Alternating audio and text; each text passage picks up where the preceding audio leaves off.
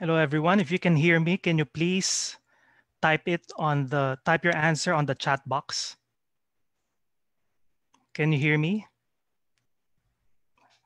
Okay, thank you very much.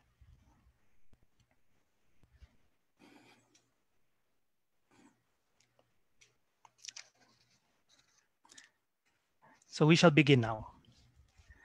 Salamat sore. Salamat petang. Magandang hapon sa inyong lahat. Good afternoon, ladies and gentlemen. Welcome to the webinar on the history of pandemics in Southeast Asia. I am Dr. Fernando A. Santiago Jr., Director of the De La Salle University Southeast Asia Research Center and Hub in Manila, Philippines. I am the host of this webinar. This event is brought to you in partnership with the Philippine Historical Association, the Masyarakat Sejarawan Indonesia, and the National Quincentennial Committee of the Republic of the Philippines. The webinar is currently in broadcast in Indonesia, Malaysia, the Philippines, other parts of Southeast Asia, and the rest of the world. As the world faces the challenges of COVID 19, we can look back to history to give us guidance. It is not the first time that Southeast Asia has had a pandemic.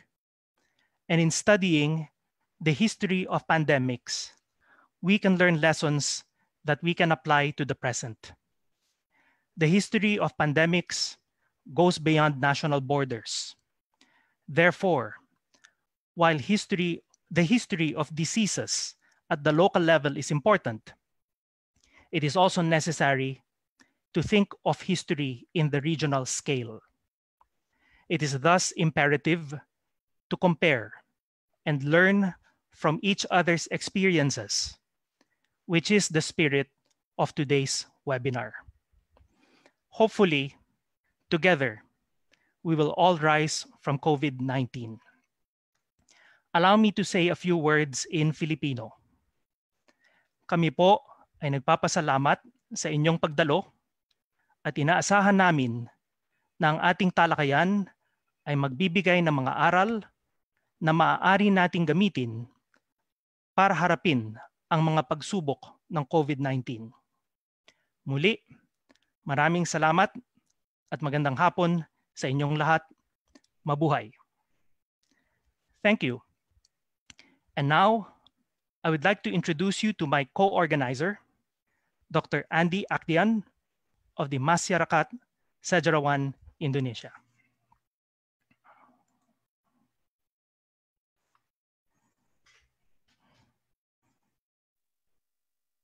Thank you, Dr. Fernando.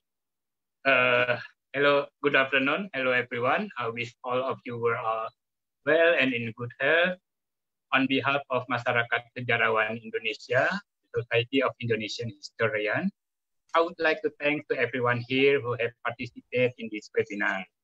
I would like to thank also to my colleague from the Philippine Historical Association, Dr. Fernando Santiago and the Southeast Asia Research Center and Hub, the La Salle University for hosting this webinar.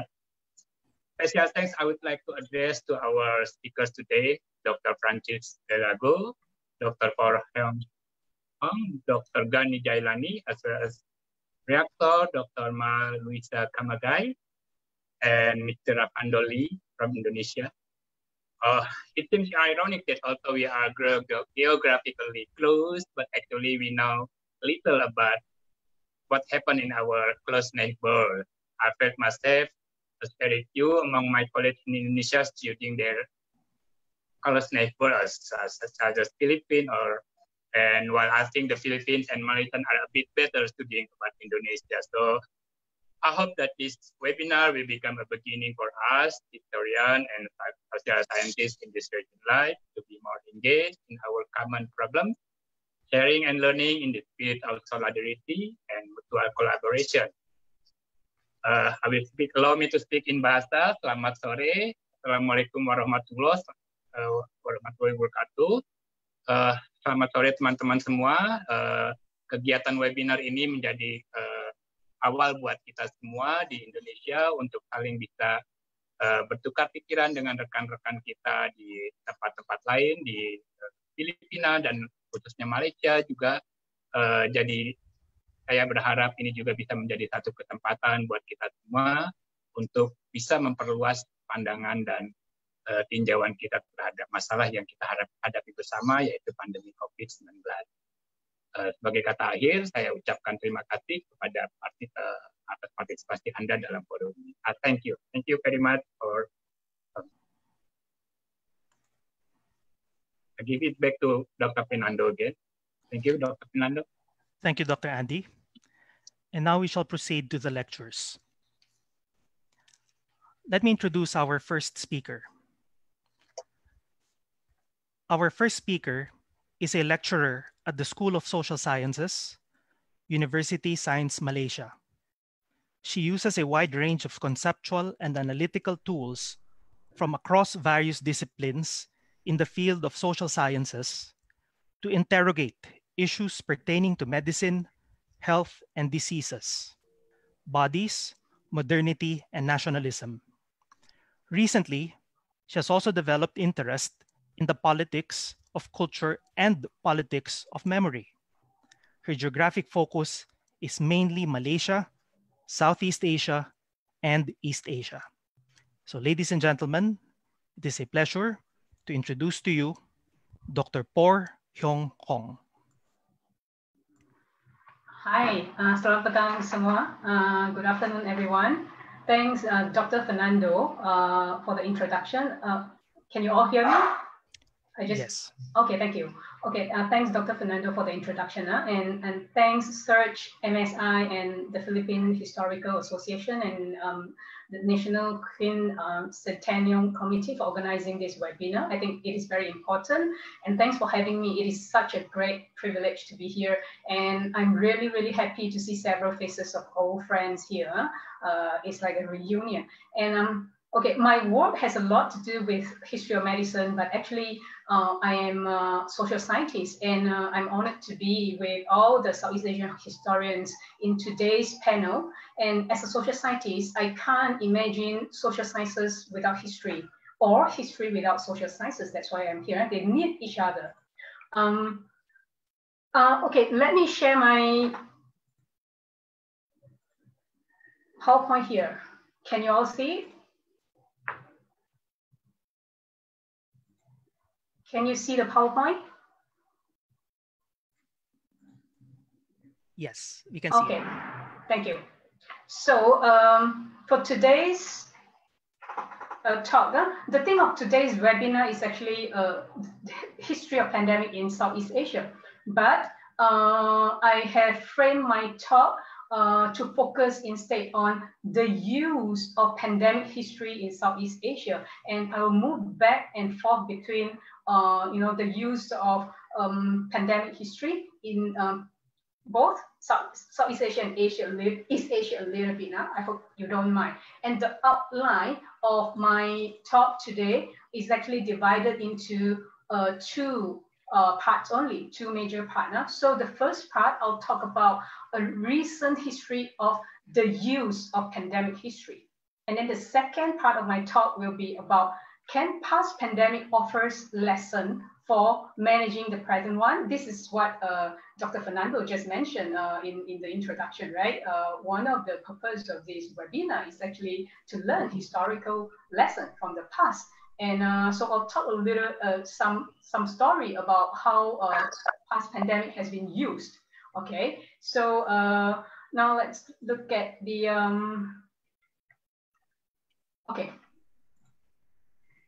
We, we actually see already see lots of articles about the history of the 1918 influenza uh, in the media uh, for popular readership. And, and most of them are actually written by professional historians and uh, and also articles about other pandemics as well uh, in the media because of the COVID-19. And this surge of interest in past pandemic is actually a sign of people's anxieties, you know, and their eagerness to look for lesson, uh, you know, of past pandemic like we do here now. And I and um, similarly, similarly, actually, uh, when SARS broke out in 2003, almost two decades ago, uh, it also sparked a drastic spike of uh, kind of like popular interest uh, in plague history or pan uh, pandemic history, uh, as people were really, you know, trying to look for historical uh, lesson to make sense of SARS. And even historians too, they were inspired to write, uh, to, to find out more about past pandemic, like uh, the, the person actually uh, really have done a lot of research in, uh, in, in, the 1918 influenza in British Malaya is actually a scholar called Liew Kai Khiun. He is a Singaporean, okay, but uh, he's not doing history anymore at, at this moment. He's more uh, doing cultural studies. But uh, back then, in 2007, he, he wrote this piece called uh, the, the, the, 1918 influenza in, in British Malaysia. And I believe the piece that uh, another panelist of this uh, webinar, uh, Francis Gealogo, he has written a piece on um, the 1918 influenza as well, back in 2009, right? I, I'm not sure, I haven't talked to Francis about this. Uh, I hope that he would tell us whether this was also actually sparked by uh, the past you know, the, the, the, in, uh, the H1N1 avian flu back in 2008, 2009, because it was written in 2009, or was it also related to his interest in SARS back in 2003? Uh, was it, was it uh, in, inspired by all these uh, present time kind of a pandemic? Yeah? So over the course of almost about a decade, uh, from 2003 to 2020, uh, uh, 12 and 13, uh, you can see that in, in China, Singapore, and Malaysia, there was this search of interest to dig up stories of past pandemic. And uh, so people uh, started to search uh, for this past pandemic in China, and they stumbled upon the story of this so-called Manchurian plague in northeast China. And a fighter whose name is called Wu Lien-teh. And this Wu Lien-teh Uliente, you can see from uh, the, the PowerPoint here, uh, this guy looking into a microscope, his name is Wu Lien-teh, and uh, he is actually born in Penang, but trained in Cambridge, but then later joined, um, back then it was the nationalist government in China to uh, handle Manchurian plague, which broke out in 1910 uh, to 1911. So it's even earlier than the 1918 influenza, but it was a key moment in China in the sense that uh, this Manchurian plague um, lay out the so-called modern, quote unquote, modern public health infrastructure uh, in China. That's why uh, he has been, Wu has been canonized as so-called uh, the father of uh, modern public health in China something like that. Okay. So uh, since then, since then, since this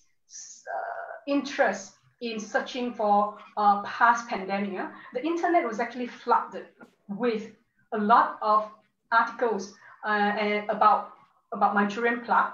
Um, and then the narrative of this um, this wave of interest in history, yeah, you can see that the narrative is always state-centric, triumphalist. That means it's always praising the success of uh, uh, the, the, the, Chinese government uh, in handling Manchurian plague.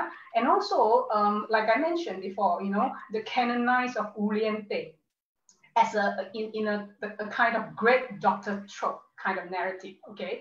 So uh, in this wave of searching a past pandemic, uh, in, instead of drawing lesson from the past, actually the Chinese authorities uh, was actually using or retelling this past as an instrument to shape the narrative of SARS in 2003. Okay, and, and, and they construct Wu Lien-teh as a patriotic hero. Patriotism in this context is very interesting because, like I mentioned, he was actually born in Penang, and he's actually he was actually a Malayan, not a, a, a Chinese national. Uh, and and Wu Lien-teh actually fled China and returned to Malaya after Sino-Japan War broke out in 1937. So why why did uh, the narrative, you know, uh, kind of like framed in heroism and patriotism, uh, is because this his heroic story of Wu Lien-teh is very useful. The Chinese government actually use it apart from shaping the narrative of SARS, it was the, the, the authority was also using it as a tool for disciplining medical doctors in China and shaping a kind of medical patriotism in China. So the, the, the ultimate, you can say that the ultimate um, purpose of all these heroic narrative of Wu Lien-te is trying to divert popular attention away from questioning the government's, the Chinese government's responsibility, role, and performance in handling SARS outbreak. That, that, that was, that's my observation. But of course, maybe other people, other scholars might disagree with my observation. So you can see that now this uh, search of um, interest in fighting past pandemic in China, today it has become a history of finding historical lesson. Okay, or to be more precise, a history of how the Chinese government instrumentalized past pandemic. Okay, now let's move back to Southeast Asia where we are. Okay, uh, Singapore was actually one of the most country um, most impacted by SARS back then. Uh, Singapore too was interested in past pandemic, okay? And, and you can see that Liew Kai Khiun's work in 2007, the piece on 1918 influenza came out of this as well. But Kai-kyun was actually very critical of Singapore government back then, you know, critical of Singapore government's use of uh, uh, like uh, framing SARS, you know, as a, a, a success of a Singaporean government's uh, battling a, a pandemic. Okay, so it was framed in a, a so-called state-centric triumphalist narrative as well. And Kai Khiun was actually trying to use his writing of 1918 influenza to criticize the Singapore government. Okay, but uh, what about the role, the place of this Wu Lien-te's story? Huh? Why, why, what does Wu Lien-te has anything to do with Singapore? Uh, it turns out that actually Wu Lien-te's daughter was based in uh, Singapore back then. So as China was interested in in finding the, the history of uh, Manchuria plot and, and discover, rediscovered the legacy of Wu Lien-te. So they reached out to Wu Lien-te's daughter to discover more about Wu Lien-te's, uh, Wu Lien-te's life. So in that sense, Singapore too uh, played uh, a, a, significant uh, note. It was a, it was an important note uh, in, in the region that produced narrative about Wu Lien-te. And and the same narrative is like uh, is always about uh, the triumph of the state overcoming uh, a very challenging uh, pandemic uh, epidemic okay? And uh, and added with more personal touch because it was told by uh, Wu Lien-te's daughter and now move again a little bit north to Malaysia okay? In contrast to the experience in China and Singapore Malaysia's interest in Wu okay, actually was driven, largely driven by interest in tourism. Why? Because uh, around 2008, 2008, Georgetown, um, the capital of uh, Penang, uh, was awarded UNESCO's World Heritage status. And then this sparked interest in uh, the general public, you know, the, the, the, general public, Penang people began to take interest in local history. Uh, and then uh, they encountered the stories of Wu Lien-te online, internet, okay? Because Singapore and, and China have already produced a lot of these stories of uh, Manchurian plot and, and Wu. So Penang people, as they search for uh, more stories about Penang, they discover Wu Lien-te's story. And then why? What, what Wu has anything to do with Penang? Just because he was actually born in Penang. Okay, that's how he came uh, to be related to all these uh, heritage uh, discourse uh, about uh, heritage story about uh, Penang. Okay, and um, even though um, legacy, medical legacy, public health legacy, actually is in China, he hardly has none, done anything in uh, Mal Malaya uh, after returning from China back to Malaysia, he, he actually practiced just as a general practitioner uh, in a small town called Ipoh. Okay, so interestingly, interestingly, in the present COVID-19 pandemic, stories of Wu Lien-te resurface, re-emerge. And then this time, Malaysians, they proudly make the claim that, you know, surgical mask is an invention by Malaysian, which is not untrue because it was actually Wu Lien-te, who the first person to use mask as a prevention method against the uh, the plague. Okay, it was it was his invention, but Wu Lien-teh was never a Malaysian, right? He was a Malayan. Okay, but then you can see that now Malaysian are kind of like claiming uh, this surgical mask as an invention of uh, Malaysian uh, by Malaysian. It's a Malaysian legacy, a contribution to the world today. Okay, so these are the cases of past, uh, sorry, uh, uh, of post SARS search for pandemic history. And then they show that people are appropriating knowledge of past pandemic, uh, pandemic for purposes and not really directly related or even unrelated uh, to managing present pandemic. For example, in, in China, knowledge of Wu Lien-teh was used for disciplining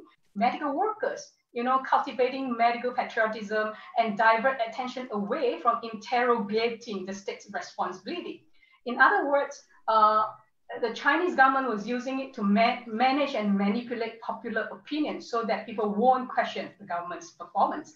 And uh, in the present pandemic uh, in Malaysia, knowledge of past pandemic is actually used for claiming ownership. It's like telling the world this piece of uh, fabric uh, is a PPE, personal protective equipment, uh, fundamental for this prevention. Uh, is actually a contribution from Malaysia. In a nutshell, uh, presentism is in play. Okay, people are interpreting history for their present needs, which is not necessarily relevant to managing uh, the pandemic, which is uh, some, what is even uh, interesting is this version, all these stories might not really reflect what's actually happening in the past because it, it is it has been appropriated to serve the needs of the present. Huh? Yeah. So uh, these are some of the photos of uh, the Manchurian plague. And then on the right hand side, you can see that this is the portrait of uh, Wu Lien-teh. Huh? And this photo, uh, you can see that these are um, medical workers wearing masks in the 1910-1911 Manchurian plague. Huh? And back then, there was no industrial mass production of masks yet. So these are just handmade masks. You can see, uh, you know, the fabric, uh, it, they were like very handy kind of a mask, not, not, not the mass for industrial mass product, uh, produce mask. Huh? Okay, now I'm moving to the uh, second part of my talk, uh, uh, is question about can past pandemic really offer lesson for managing the present pandemic? Or uh, in other words, can historians show the value of history for policy making? Okay, there is already a conversation out there on whether history can offer lessons for managing present pan uh, pandemic or no. The answers are actually both yes and no. Okay, for example, uh, historian like Frank Snowden, uh, who wrote, who, who, just published this book called Epidemic and Society last year, 2019. Uh, and, and another scholar, his name is called David S. Jones. Uh, he, he, he just penned a, a piece in, I think in April or March, I can't remember, uh, talk about history in a crisis and, and trying to uh, derive lessons from past pandemic. But there are other scholars who disagree with the idea that, you know, history can really offer lessons for the present. For example, uh, Hong Kong University uh, uh historian Robert Peckham, he even um, suggests that historians should take an anti-lesson stance, you know, should, should try to uh, to reject the temptation of trying to use history to for their um, uh, kind of like trying to project future, okay, or, or to predict, okay. Uh, more precisely, to predict what's going to happen in the future. He refused to take stand. He he argued for a anti-lesson stance, and there are other uh, two French scholars, uh, they, they claim that no, you know, uh, history has no lessons. But regardless, the idea that history offers lesson has actually uh, has several assumptions. Uh. The first assumption behind the idea of uh, uh, history as lesson uh, is that there, there is this universal truth about how societies re respond to contagious disease. Okay, and this we can find this kind of uh, this idea in in uh, Charles Rosenberg's work. Uh, his work was inspired by Camus, uh, Albert Camus' work on, on, on the, the pestilence. Huh? And, and he came up with this idea that, you know, for every pandemic, each pandemic, huh, as the pandemic unfolds, huh, there is this social drama unfolding. And this social drama uh, can be categorized into three acts or three phases. Okay, he came up with this idea. And, and Frank Snowden too, he came up with a very kind of like very general idea that, you know, every society produces its own specific vulnerabilities. As he was talking about epidemic, he was suggesting, um, promote, uh, proposing the idea that you know, uh, epidemic actually reveals what a society is. Okay, uh, all the strengths and weaknesses of a society, of pre-existing social, cultural, economic, and political conditions in a society. Okay, and these are kind of a very general idea of so-called um, history as lesson. Uh, and we already see that people are comparing the present pandemic uh, with SARS, which was 20 years ago. And also, of course, uh, now a lot of people are talking about 1918 influenza. So people are comparing already. Uh, and then another assumption behind this idea, underlying this idea of history as lessons is uh, the assumption that different epidemics are structurally comparable. Robert Peckham criticized it. He said that this is a myth.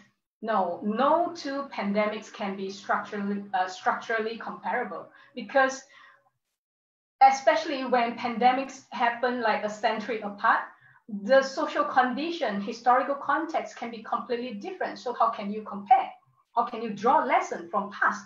right? So uh, there is this, according to him, there is this danger of stressing, you know, an analogy or drawing similarities between epidemics. It can be, uh, it, it, it can end up like uh, selective attention when when we are drawing uh, similarities uh, between uh, different pandemics.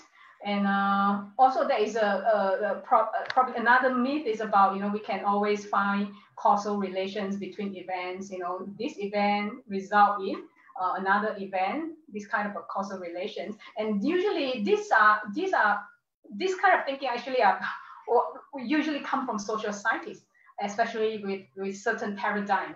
Uh, it doesn't work, but history doesn't work that way lah, for, for a scholar like uh, Robert Peckham. Uh, in, in his mind, uh, history doesn't work that way.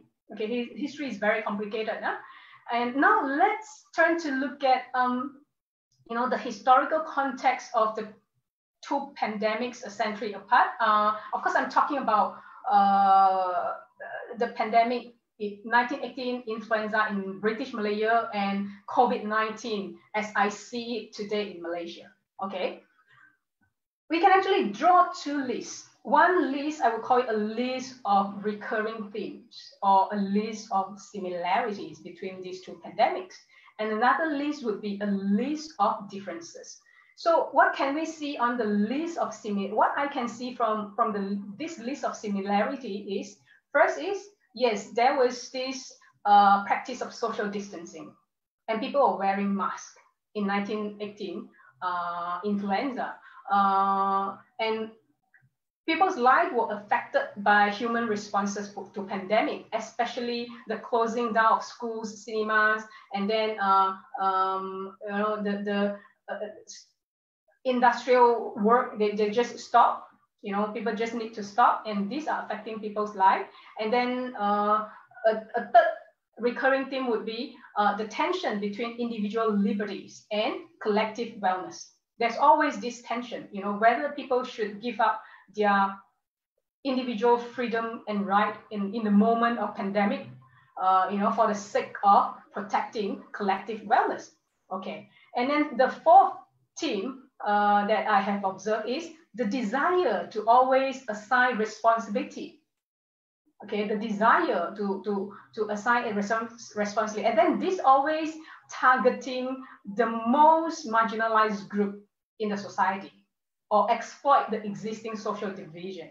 Okay, uh, people are blaming, scapegoating, you know, migrants as the uh, people who, uh, as those who bring in diseases.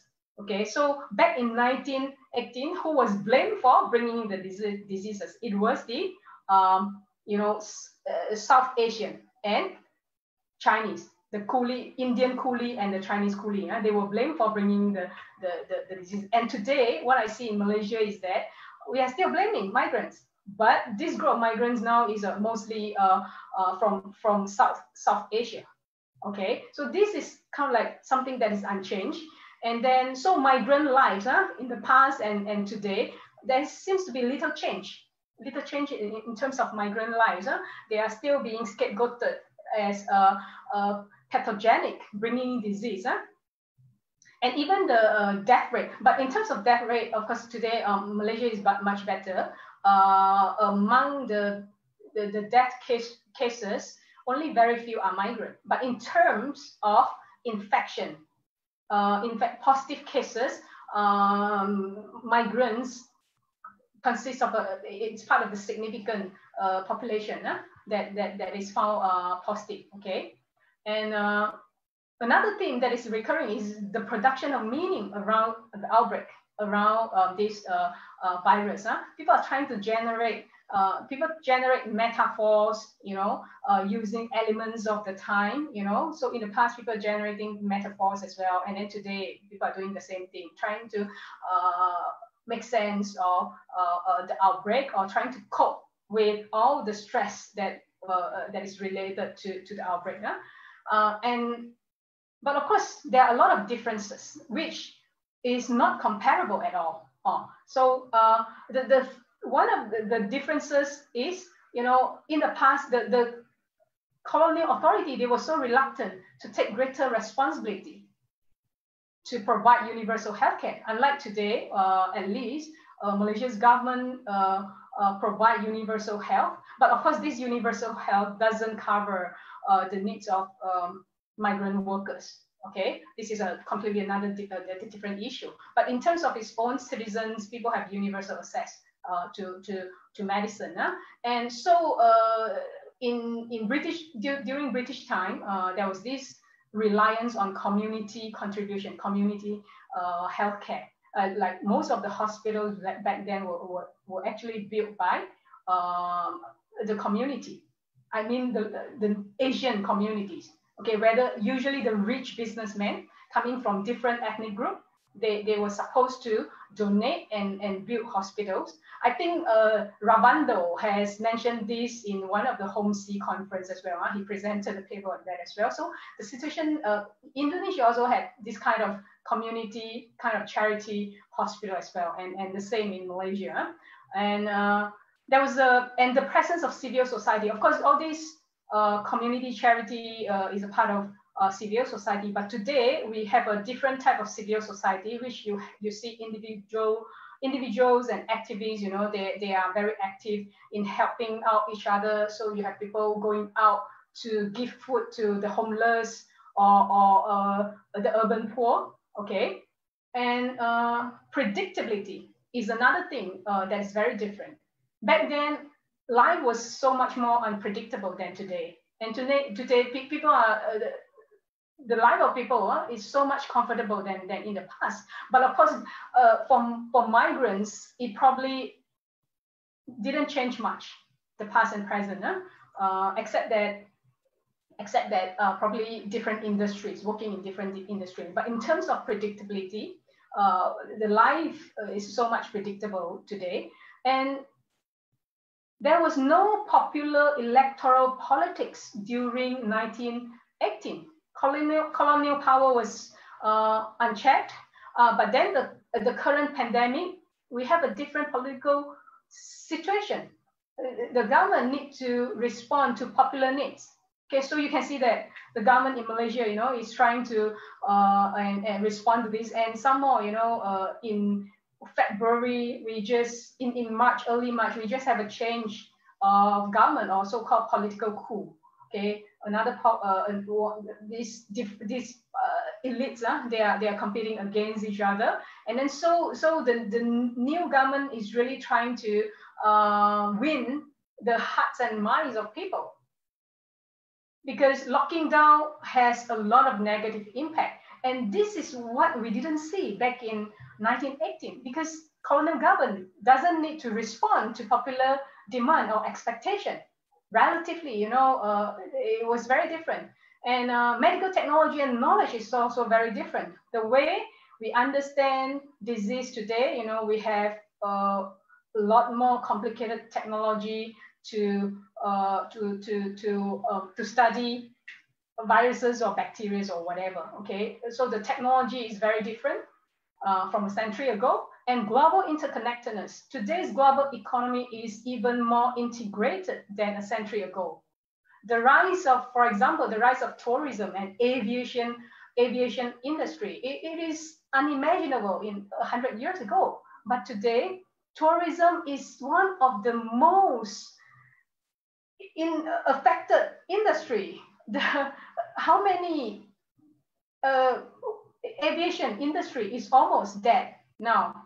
If the, the, this pandemic lasts longer, the aviation industry, many many of the industrial players they might just die. You know, uh, they, they they won't survive this uh, pandemic and, and a lot of people got it's affected. They, they are affected.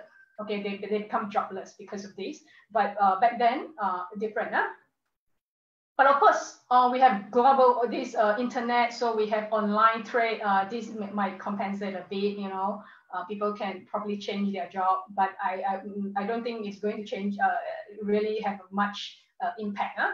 Uh, so so um, so the society remains full of inequality and internet. Back then there was no internet. There was no internet. So uh, locking down and self-isolation, self-quarantine back then and today has completely different meaning.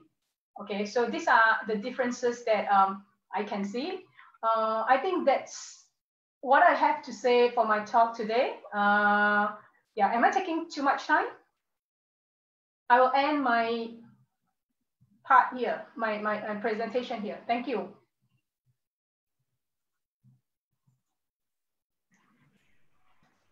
Yeah, thank you very much, Dr. Por. Okay, I'll stop share. Okay, thank you very much, Dr. Por.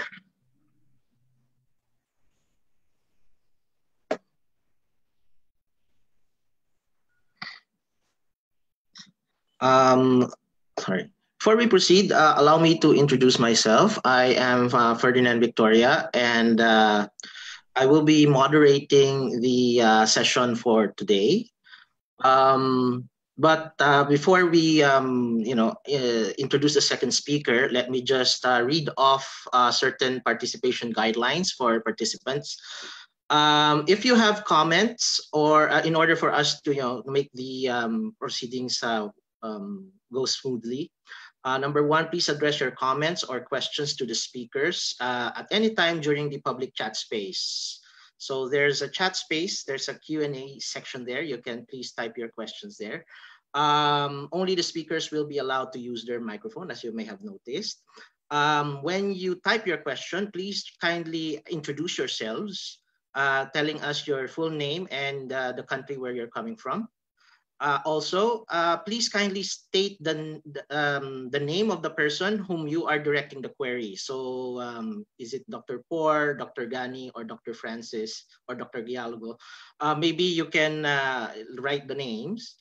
And then um, as much as possible, keep the question brief and straight to the point. And also, uh, lastly, please note that this seminar will be recorded and that you will be able to watch it later. Um, the video is being shown live right now at the Facebook page of the De La Salle University Southeast Asia Research Hub uh, Center and Hub. And uh, I think it will be re-posted um, there. Um, kepada peserta-peserta, ya, uh, supaya um, uh, webinar kita akan lancar, uh, ini beberapa peraturan. Uh, kalau ada komen atau pertanyaan kepada speaker-speaker, uh, silakan menggunakan chat Uh, terus uh, sebelum um, mengetik pertanyaannya, tolong um, uh, mohon uh, perkenalkan diri dan negaranya da, dari dari negara mana dan uh, tolong juga tulis uh, uh, nama speaker kepada uh, yang uh, ingin uh, anda ingin menjawab. Uh, terus uh, yang pertanyaannya dijadikan singkat dan to the point aja. Uh, terus uh, webinar ini akan uh, diputar balik nanti. The uh, De La Salle University Southeast Asia Research Center and Hub. Baik. So uh, let's continue with the uh, second speaker. Uh, let me introduce the second speaker for today.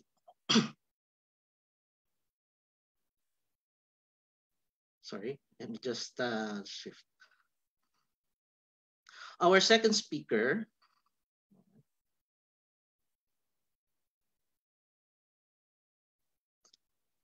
our second speaker um, uh, obtained his doctorate degree uh, in history from uh, EHESS Paris with a dissertation entitled The Question of Hygiene in the Dutch East Indies, Issues on Medicine, Culture, and Society, uh, recently, 2017. And he has recently published a book entitled Penyakit Kelamin di Jawa, 1814 to 1942, or the venereal disease in Java, 1814 to 1942, uh, just uh, a few years ago, and is uh, prolific publish, uh, and has published in journals and media about the history of medicine. He now teaches history at the Department of History and Philology in Universitas Padjadjaran, Bandung, and uh, he is also conducting research on the history of science and medicine. Uh, ladies and gentlemen, let me introduce you to Dr. Gani Jaelani. Silakan Pak.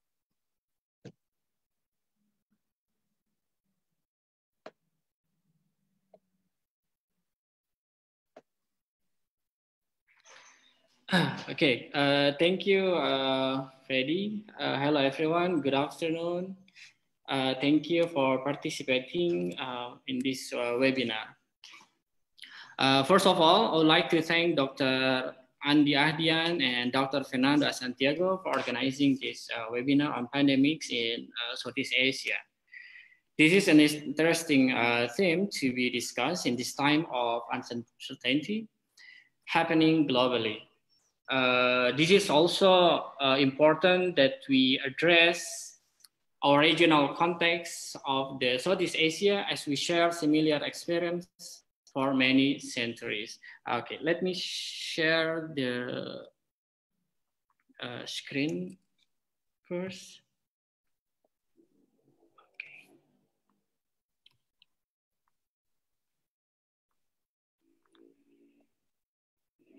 Okay, can you all see the, the screen in full?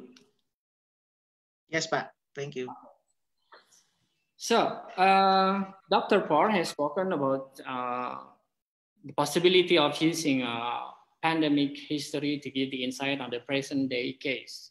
It was a very interesting uh, presentation, uh, but different from Dr. Por, I would like to speak about the history of disease, the epidemics in the colonial time in Indonesia.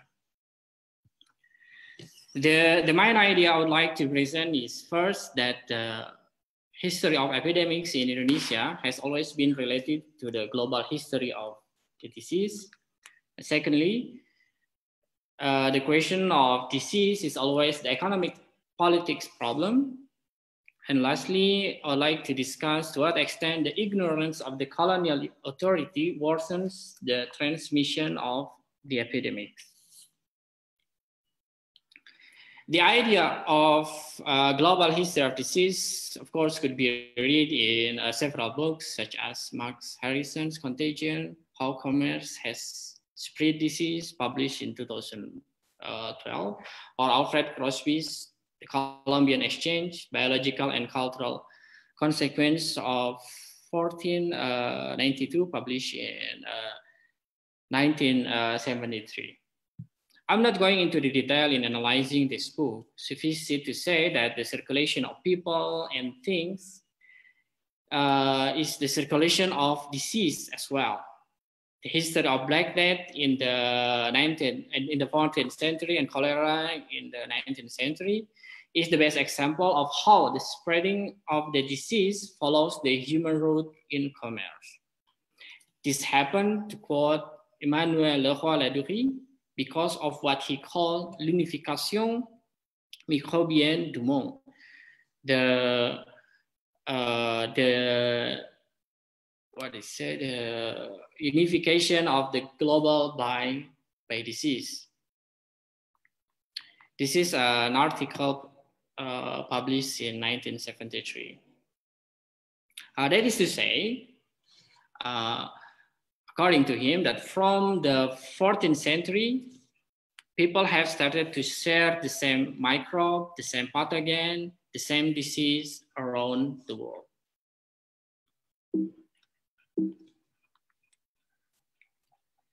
Indonesian colonial history shows how colonialism bring with them the disease as well.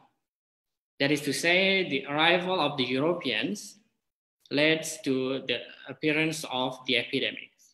The construction of Batavia, the former, the former name of Jakarta in the 17th century, for example, caused the spread of malaria because the existence of the canals which became the place for mosquitoes to breed. Peter H. van der Broek in his book, Malaria and Malaise, the VOC in Batavia in the 1800, published in uh, 1994, shows that beside the canal construction, which did not respect the nature, the fact that Batavia was close was a closed city made the air circulated terribly. Moreover, in this work, he put a hypothesis that the fall down of the VOC, the first transnational commerce corporation, in the late uh, 18th century was caused by the disease. His explanation shows that uh, to what extent the presence of epidemics could change the current of the history. Furthermore, the spread of the syphilis, the sexually uh, transmitted disease, was also caused by the coming of the Europeans. That is why one of the physicians working in North Sumatra in the mid of 19th century said that civilization means syphilization.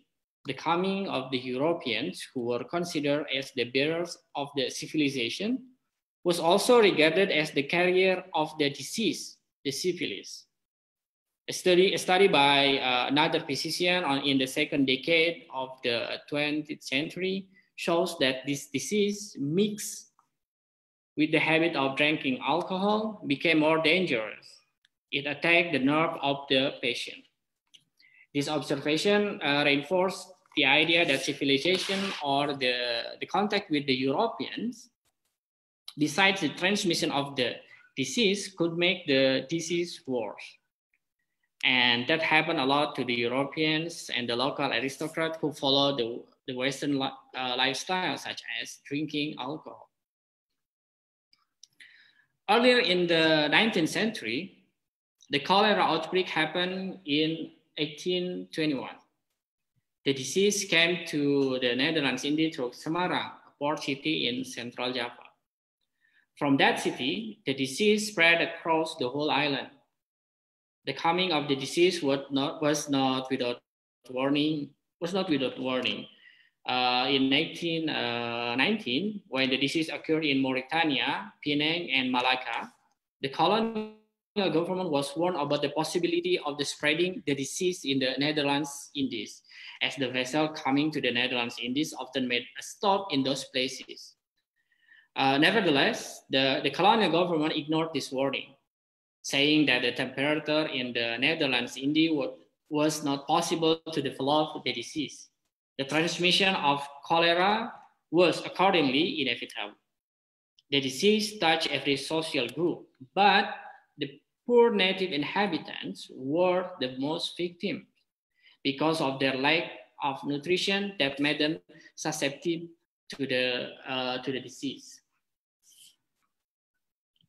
Another example of how colonial government denied the presence of the epidemics was uh, when the epidemic happened in Central Java in 1847.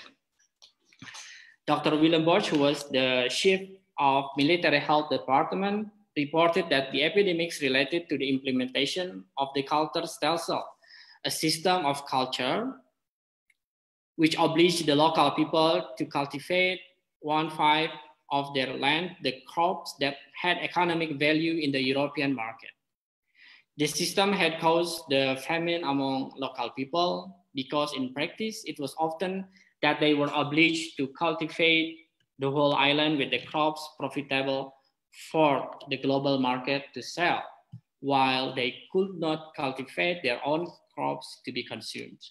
This fact made them susceptible to the transmission of the disease. The fact that the cultuurstelsel was the program of the colonial government that made them rich. They denied that the system had a negative effect.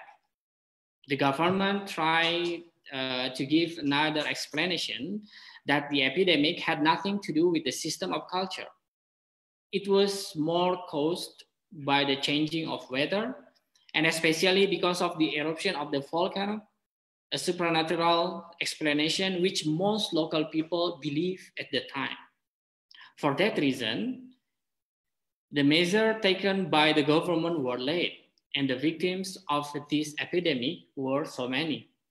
Van Hoëvell, a rebel thinker and one of the greatest critics to the cultuurstelsel, under a pseudonym Geronimus, published a book titled An Epidemic of Java and the Cholera in Netherlands, in which he described that the disease was so deadly that it erased the whole population in the village. The history of the uh, yellow fever is another example about how the colonial uh, government did not take precaution to prevent the transmission of the epidemic. The debate was about the necessity to put a quarantine measure in the Netherlands Indies. The story was started when, the, when there was a report about the outbreak of the yellow fever in, again, Mauritania. The chief of the health department at the time, Adam Walskiewicz, wrote on a letter dated uh, 29 May 1867, saying that the disease will not spread in Netherlands Indies. Giving a response to the caution of this danger, he said that there was nothing to be worried about, and the advice to create a quarantine station at the port was neglected. Uh, the physician for the Marine, Dr. Oudenhoven, on the other side, didn't share this view. In his opinion, the, the, the, establishment of the quarantine was very important to prevent the danger that coming from the outside. However, this advice was ignored by the colonial authority, saying that the measure was not necessary to be taken. One of the reasons was that the cost of this was too high. And when the plague, when the plague attacked the holy city Makkah in 1874, the colonial authority worried about its spread in the Netherlands Indies, given the fact that there were a lot of its inhabitants who went to that city for the Hajj. Dr. Becking, the chief of the health department at the time, gave a response in a letter dated 6 October 1874 for saying that there was nothing to be worried of. According to him, the plague wouldn't spread in the tropics. The outbreak would only happen in the, in the countries with moderate climate because the tropical heat would destroy the carrier of the pathogen. The doctor once more put an emphasis that the quarantine was unnecessary. The debate about the possibility to establish the quarantine to prevent the danger coming from the outside shows two things. On the one hand, the colonial authority ignored the precaution of the danger. On the other hand, this was based on the economics consideration. The quarantine measure at some point could endanger the economic interests of the colonial government.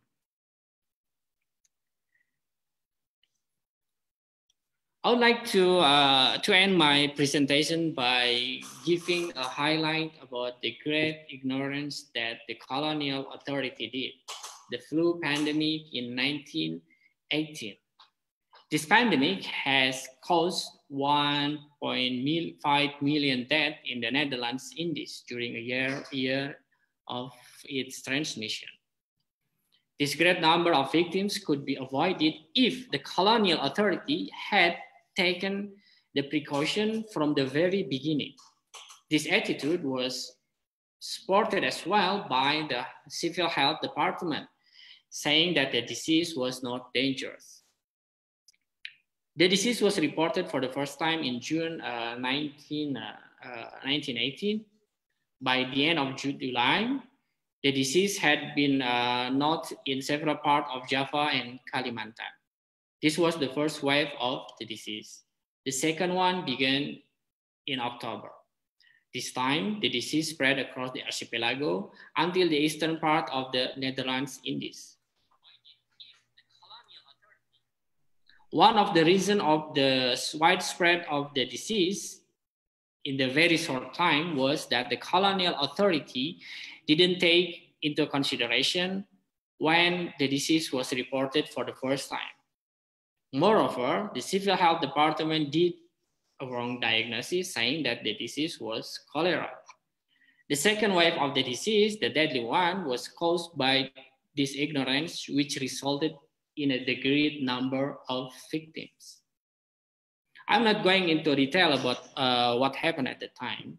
Suffice to say that uh, once again, ignorance plays a very important part in spreading and worsening the epidemics or the pandemics. And to conclude my presentation, the epidemics in Indonesia at some point was a consequence of the global encounter. The history of epidemics in Indonesia during the colonial period was the history of repeated ignorance. And this ignorance at some point was caused by the tendency to secure the economic interests of the colonial authority. As we are witnessing today, I believe in many, many parts of the world, we are familiar with the similar argument on handling today's pandemic. Terima kasih. Thank you very much.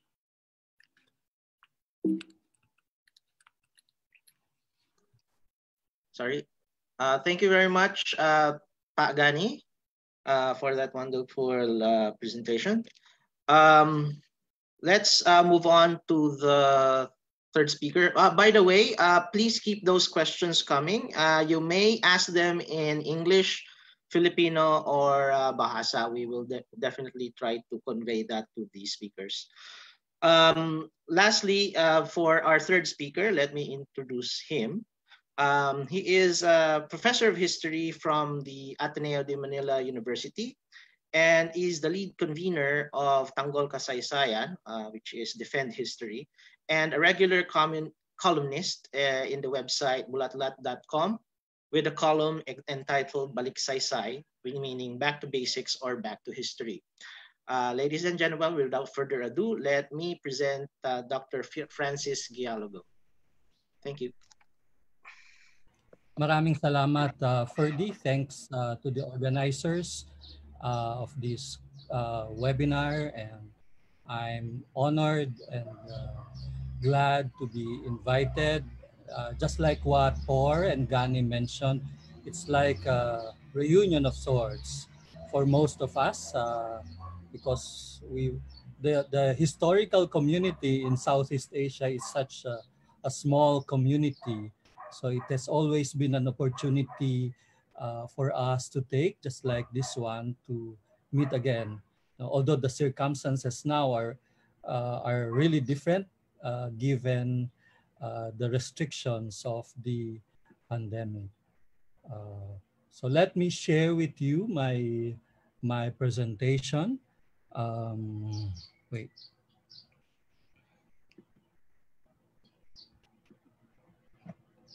Uh, I will be focusing on the 1903 and 9 to 1905 cholera pandemic and uh, 1918-1918 influenza pandemic in the Philippines.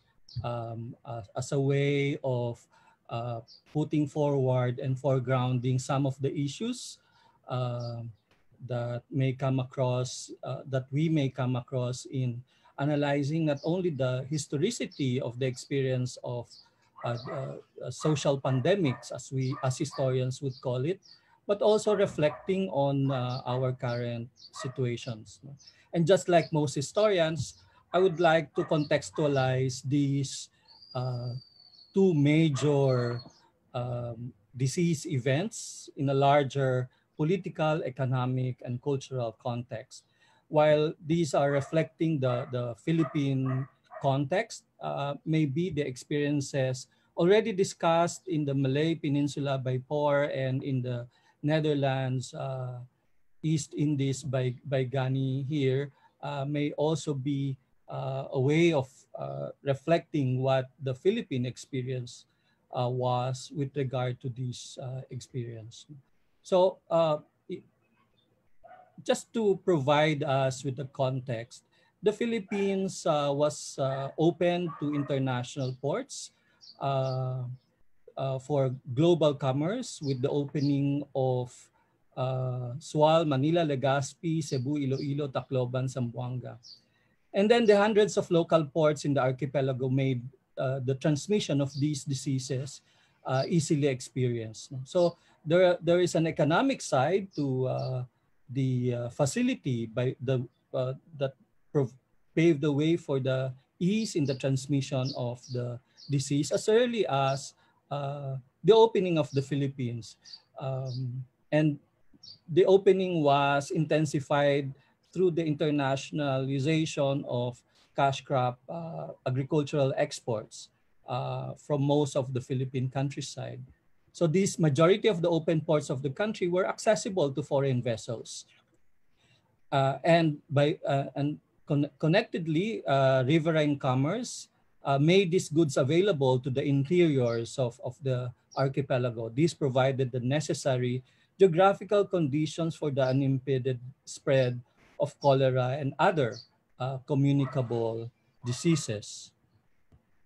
So if, if we look at the uh, history of cholera in the Philippines um, and the cholera pandemics that happened in the 19th century, we can easily say that almost every pandemic outbreak would af affect the Philippines with almost decadal regularity.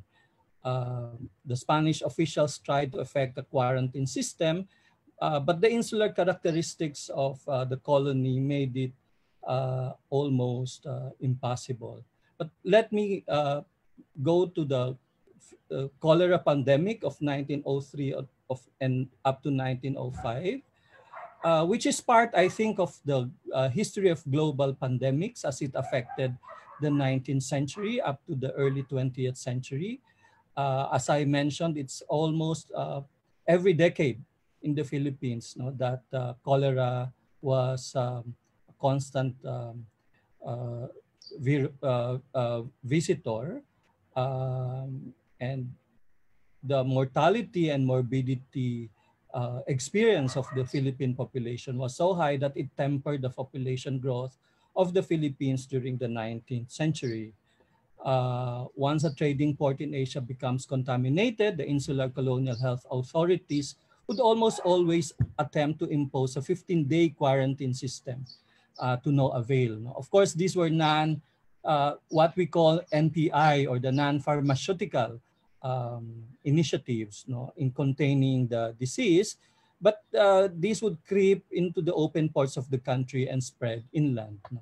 Aside from international commerce, local vendors selling fruits, vegetables, and cooked food to almost every Pueblo market were also to, to be found. No. The colonial authorities tried to regulate the sale and consumption of food items, but this became a matter of survival for the majority of the, of the Philippine population. So whether they would be allowed to eat uh, food being sold in the streets uh, so that they will not hungry, but run the risk of uh, the uh, being sick with the disease, or uh, don't eat at all so that they will not be contaminated and uh, be sick.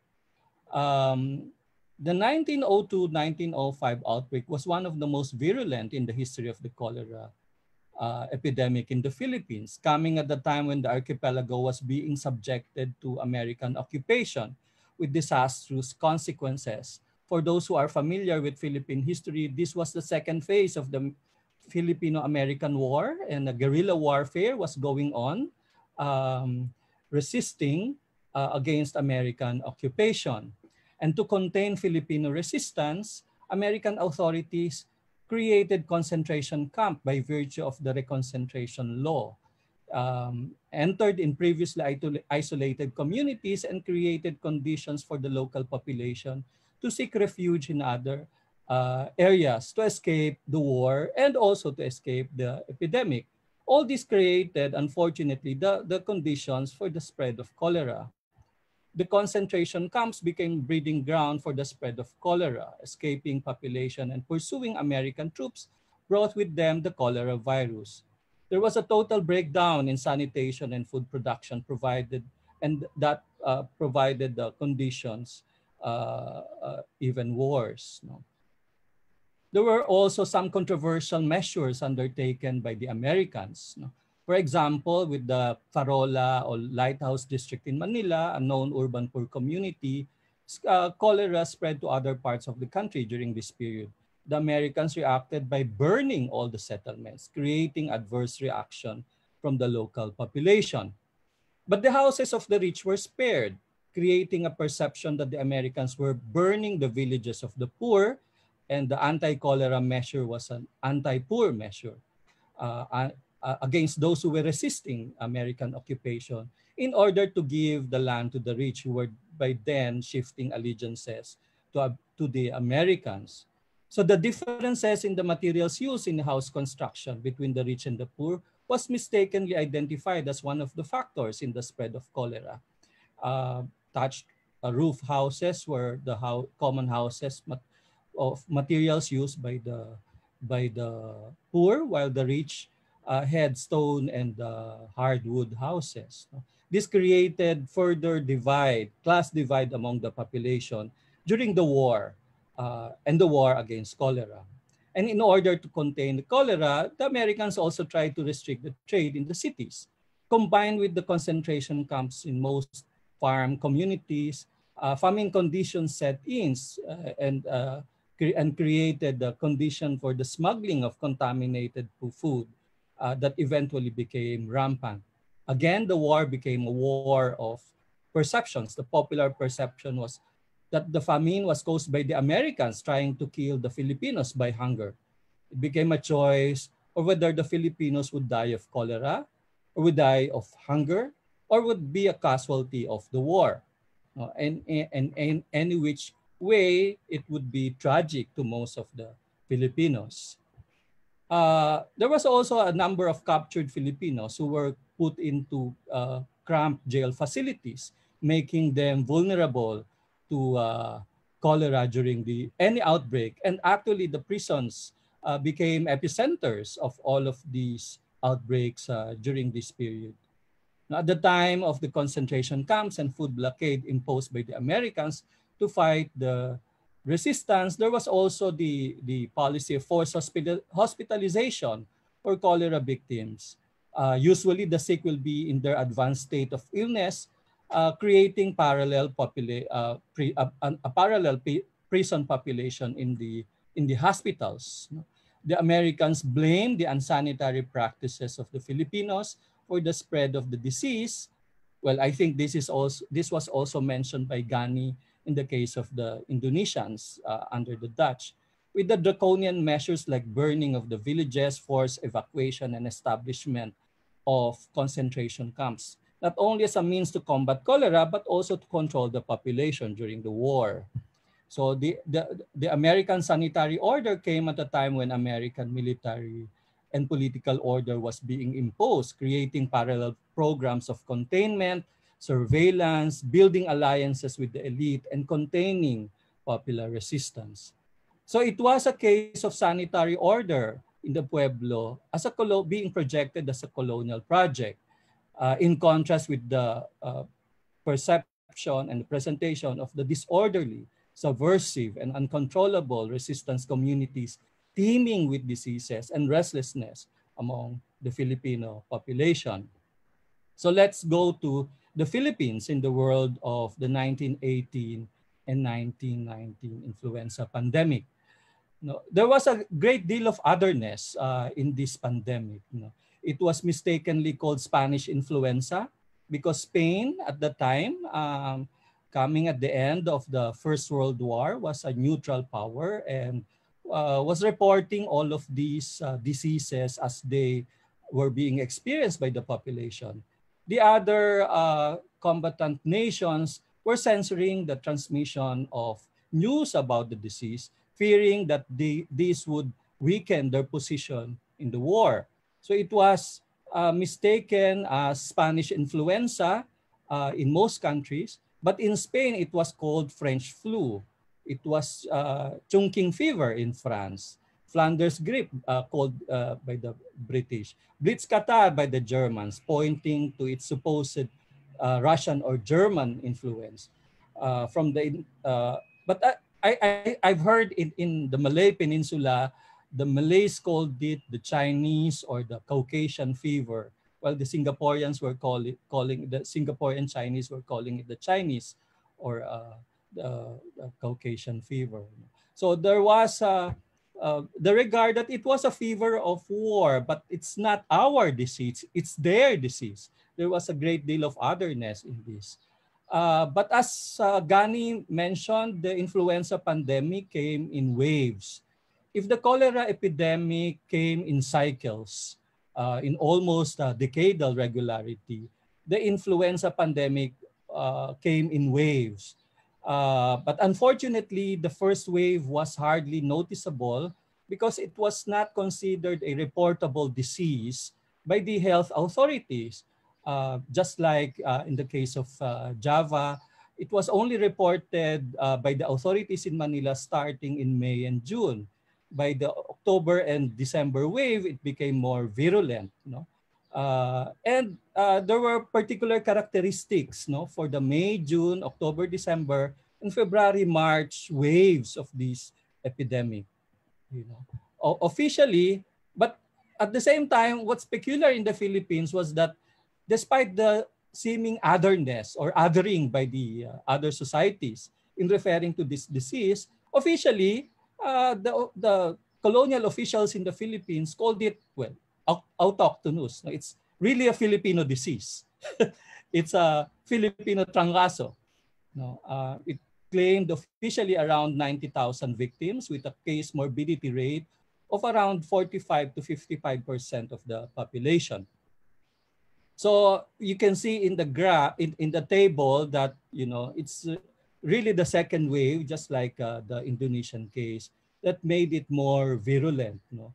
Uh, the November and December wave exhibited the worst rates for this. No? And if we plot it in the in the map, we can see that the first wave affected um, uh, Manila and the and uh, nearby provinces. But for the second wave, it spread uh, in other th- second and third wave, it spread in other provinces. No? There, there was also a uh, noticeable underreporting in some regions. If you look at the map, Mindanao and Cordillera seem to be very white. Uh, it seemed like they do not have the experience at all. But my suspicion is that given that there were many narratives also coming from these regions about the, the pandemic, uh, the, the authorities were not really that uh, keen in reporting know, uh, the disease in some regions. So there was a great deal of underreporting. So my suspicion is that the 90,000 case mortality rate may, may really be very, very underreported. And, and, and I will come to this later on. Uh, one must also take into consideration the age group of the, of the majority of the victims. Uh, uh, and what's peculiar in the 1918 influenza pandemic was that unlike in other pandemics, particularly cholera and, and, and smallpox, the 1918 influenza pandemic uh, affected not the very old nor the very young, but the able-bodied young adult population under uh, 40 years old. Uh, some observations, uh, because of the disease, uh, grave diggers were in short supply for most of the affected areas. Medical doctors and practitioners who were considered frontliners were themselves affected. Even the acting director of uh, public health, Vicente de Jesus, the first Filipino director, uh, the uh, famous, uh, the, the father of the famous uh, Filipino poet Huseng Batute, or Jose Corazon de Jesus, himself fell, fell ill. Farm workers also failed to harvest uh, their crops and laborers failed to report to work. So there was a great deal of economic consequences also as a result of the pandemic. And also, uh, most of the confined populations became the epicenters. Uh, prisons, the military camps, the leper colonies, even the universities, no, uh, the government offices, the schools, the cockpit arenas and postal services were all also disrupted. I would like to point the, the note on the Camp Claudio military training camp uh, because because of the First World War, some of the uh, Filipino uh, members of the Philippine National Guards were recruited from all over the archipelago for training in Camp Claudio in Pasay, near south of Manila. But because of the end of the war, they were not uh given the chance to, uh, to uh, serve in Europe and they were sent home no? Un, unwittingly and unknowingly some of them were already contaminated and therefore uh, creating uh, conditions also for the, the spread of the disease once these guards uh, were sent home back to the provinces. Uh, so there was uh, isolation disinfection and the closure of public uh, spaces Uh, so how, how do we conclude then um, the Philippines and the world of pandemics should really be uh, narrativized as a, the Philippines at war uh, with diseases. There were multiple discourses and many narratives you know, coming from the different experiences uh, provided by ethnic differentiation, class differentiation. There were discordant perceptions about who were benefiting, who were uh, being victimized by the war uh, colonialism, medicine, and science intersected with nationalism and resistance, especially during the cholera pandemic. No? Uh, and there was also a debate between heredity and race no? uh, of uh, othering the disease or uh, uh, the disease being linked with a particular nationality. and therefore, the debate between um, some groups of people having the genetic makeup or uh, being um, uh, some of the diseases being uh, inherited or the body conditions having a, a, greater capability to withstand or resist the disease or uh, was it uh, caused by the environment and the eco ecology so the debate between hereditarianism and contagionism was a continuing debate uh, and the it was realized during this this period.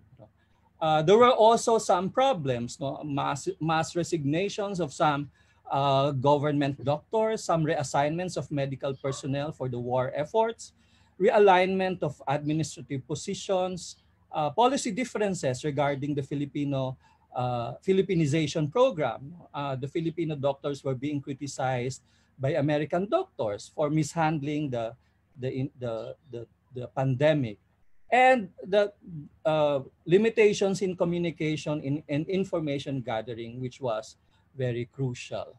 Uh, there, were all, there was also an observed low prioritization, low budgetary uh, allocation, and low salary of medical personnel, bringing to the fore the idea of whether health and rights and class, health and human rights should also be uh, given into account. No? Uh, I think this was also raised by Dr. Por, uh, whether individual rights should be observed versus the collective public health conditions, or can we, as a society, attain both? No? Um, take care of individual patients while maintaining the individual rights uh, at the same time being concerned with the public health measures as public health concerns.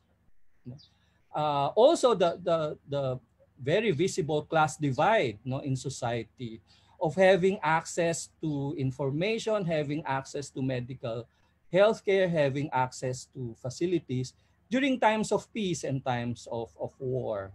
So these are, are uh, some of my conclusions and perhaps during the discussion, we can also look at that. Um, and for further reading, uh, Dr. Victoria al already mentioned my Balik Saysay column. Perhaps you can also look at this a little self-promotion. And these are some of my sources. Okay. Maraming salamat. Um, thank you. Um, and have a nice day.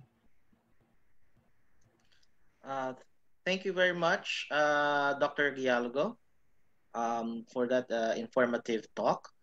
Um, now we proceed to the um, reactors. Okay, uh, there will be two reactors uh, that will comprise this panel. Um, our first reactor would be um, would be Dr. Luisa Camagay, uh, who obtained her doctorate from the from EHESS, from the School of Higher Studies in the Social Sciences in Paris.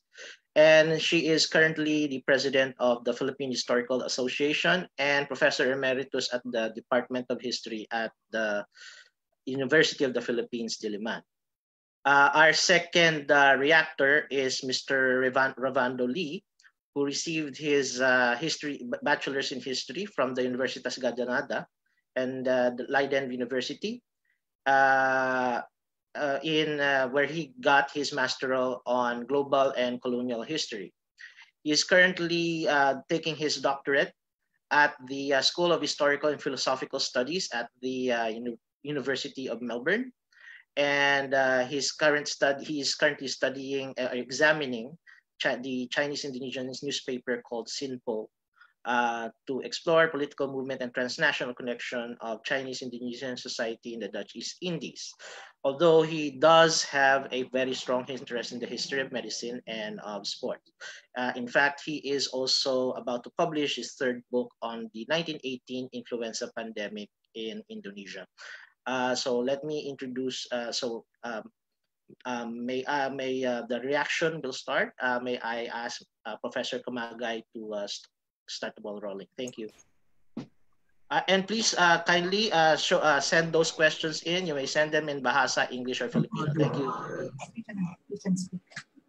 Hello. Hello. Hi. Hi. Yeah. Please. Okay. Uh, I'm. I really am overwhelmed with all the information that we got from the three speakers.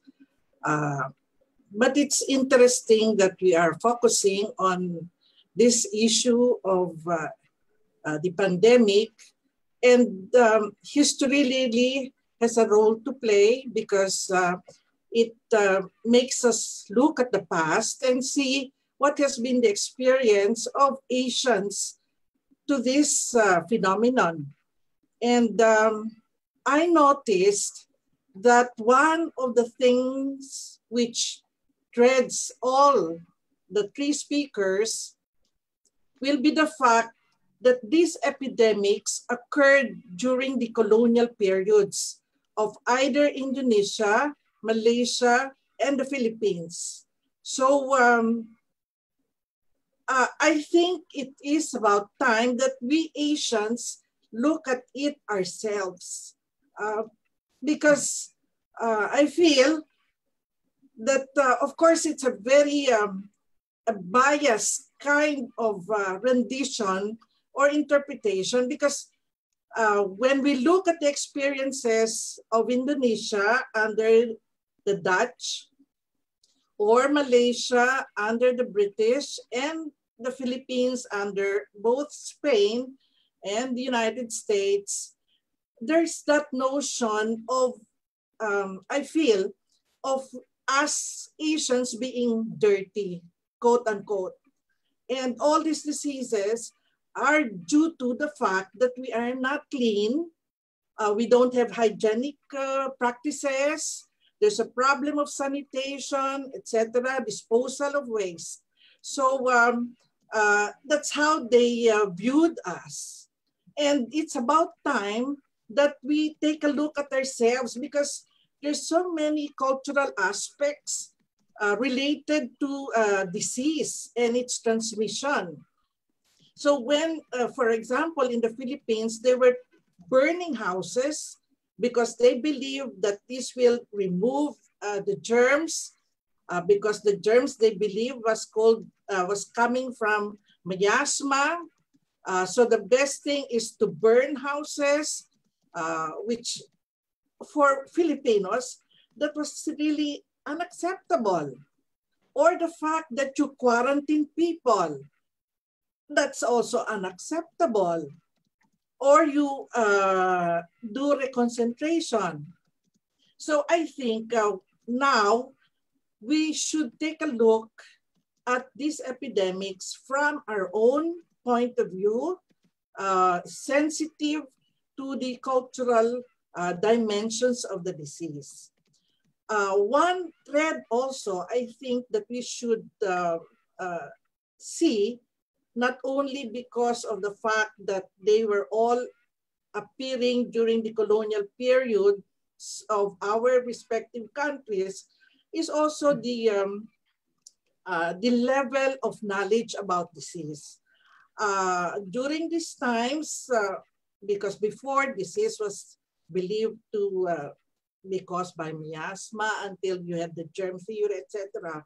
So I think uh, they were also groping. They didn't know what this disease was. Of course, cholera, they had some notion of it being a waterborne disease. But very interestingly, as you will, as uh, the speaker spoke, this disease was coming to trade, reaching ports. That's why uh, I noticed for the cholera uh, epidemics that there was, from the point of view of the Spanish colonial authorities and even probably the Americans, there was always the, um, the coming out of bulletins about the state of uh, the port. That's why here in the Philippines, we had a corregidor because that was supposed to be the quarantine place. All ships coming in to Manila should stay for a few days in Corregidor. So there was uh, that kind of notion that um, uh, they had now the idea, they were coming out with the idea that there should be quarantine and that the port should be clean. Uh, I remember the Spaniards were really very sensitive about outbreaks of cholera in the Philippines because it gave the notion that their ports are dirty. Again, the notion of dirty being really uh, the cause of uh, disease. So I think uh, that uh, I, is very, I mean, this should be a start that we should take a look at this disease from our point of view and um, sensitive to uh, cultural uh, practices of our respective countries. So uh, that's my reaction. But I'm very thankful for the three speakers. You gave us uh, a lot of information about uh, the epidemics. Thank you. Uh, thank you, uh, Dr. Camagay. Uh, Pak Ravando, silakan. Ya, uh, terima kasih banyak, uh, Mas Ferdi. Uh, thank you so much uh, for the uh, opportunity and good evening, everyone. It's really a great honor to be involved in this excellent webinar. And thank you so much, uh, Dr. Andy and Dr. Fernando for initiating this webinar. I also have like several slides that I'd like to show you. So let me check. Yep. And thank you also for all the three presenters uh, and Professor Camagay, uh, who have given us like vital information about the importance of the story of pandemics and how it is entirely relevant to the current situation when we have to deal with the COVID-19. Uh, times keep moving, but infectious illnesses continue to threaten uh, human populations. And although many virologists and bacteriologists had already warned us that there uh, was always a risk of some unexpected emergence of a new and fatal contagious disease, it seems many of us don't really learn from our past. And history has revealed that epidemics caused by transmissible diseases are not new, uh, spanning from smallpox to Ebola and cholera to HIV.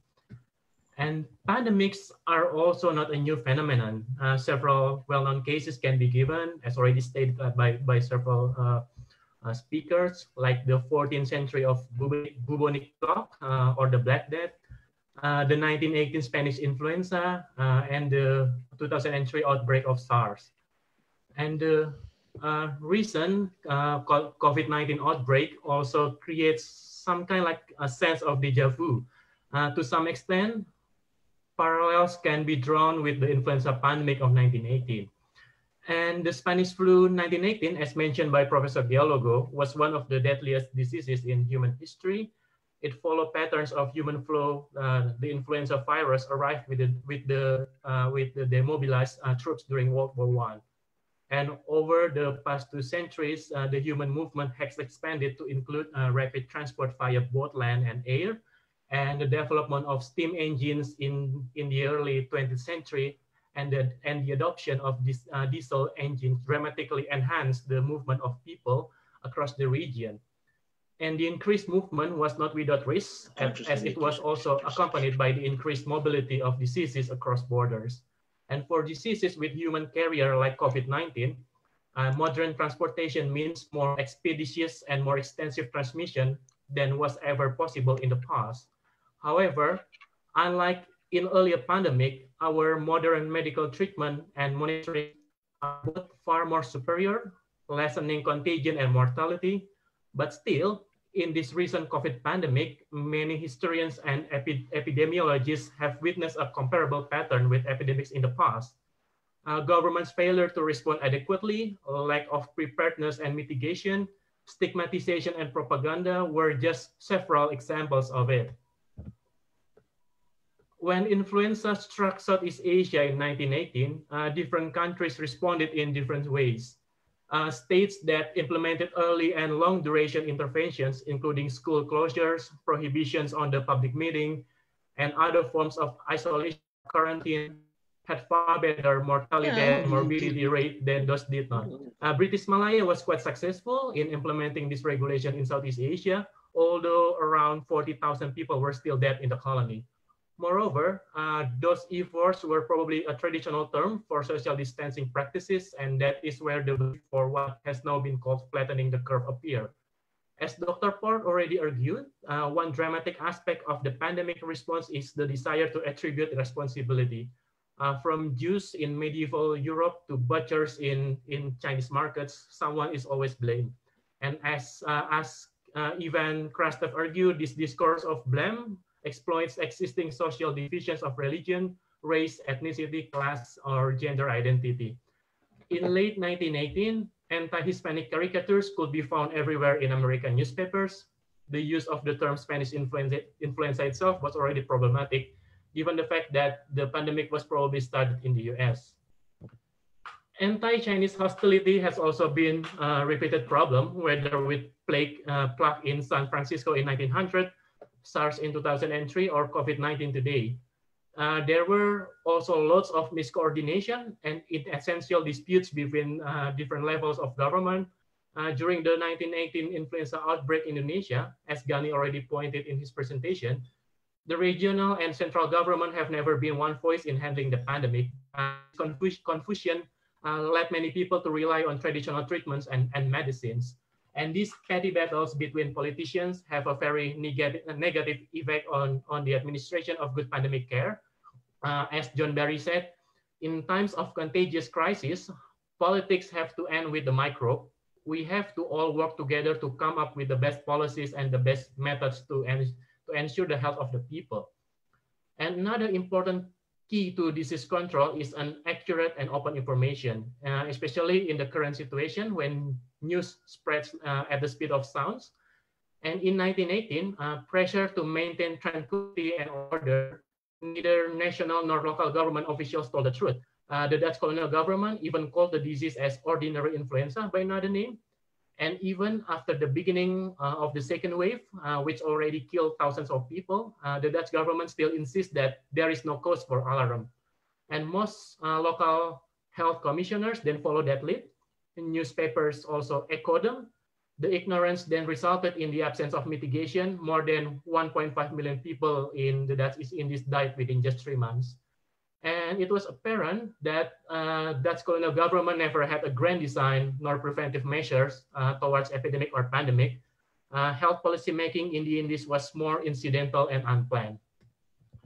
And uh, as the outbreak uh, of COVID continues and uh, new cases of the disease increase globally, there is pressure on historians to show the significance of history for, for policy.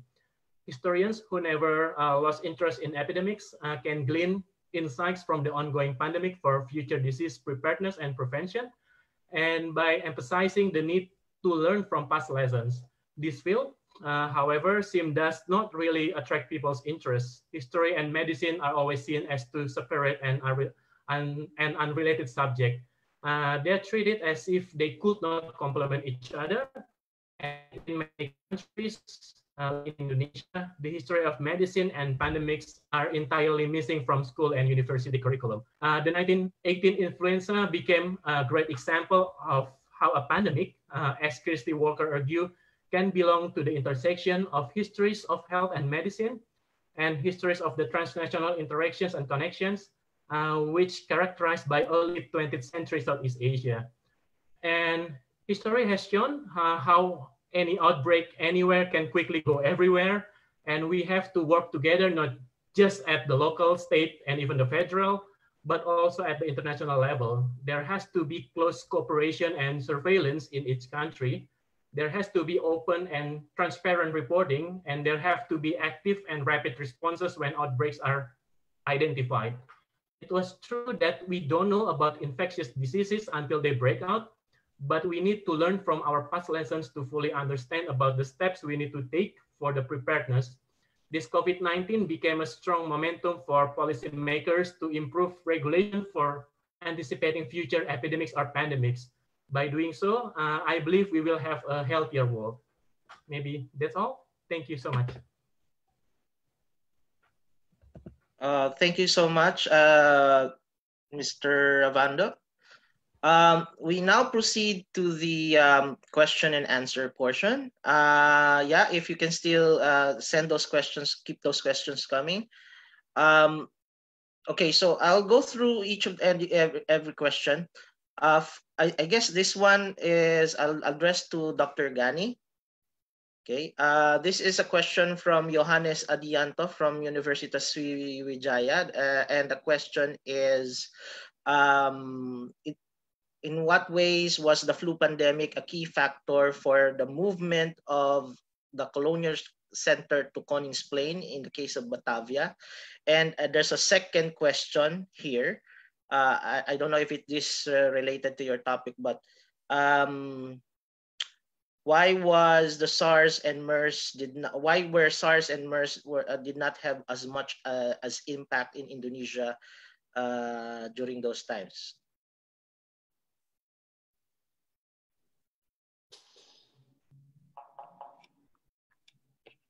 Okay. Uh, thank you for the question. Uh, first, from uh, Johannes Adianto about the key uh, pandemic, flu pandemic as a key factor of movement colonial center to conditionment. Uh, I think I would say that uh, the shifting uh, colonial center to the Koningsplein, it was happened in 19th uh, uh, century. And as, as far as, as far uh, as, as, as far as I, I read about the history of Batavia uh, and the history of disease, what happened in Batavia was more uh, an environmental issue. First, Batavia was a port city, a very close city, so that the air circulated terribly.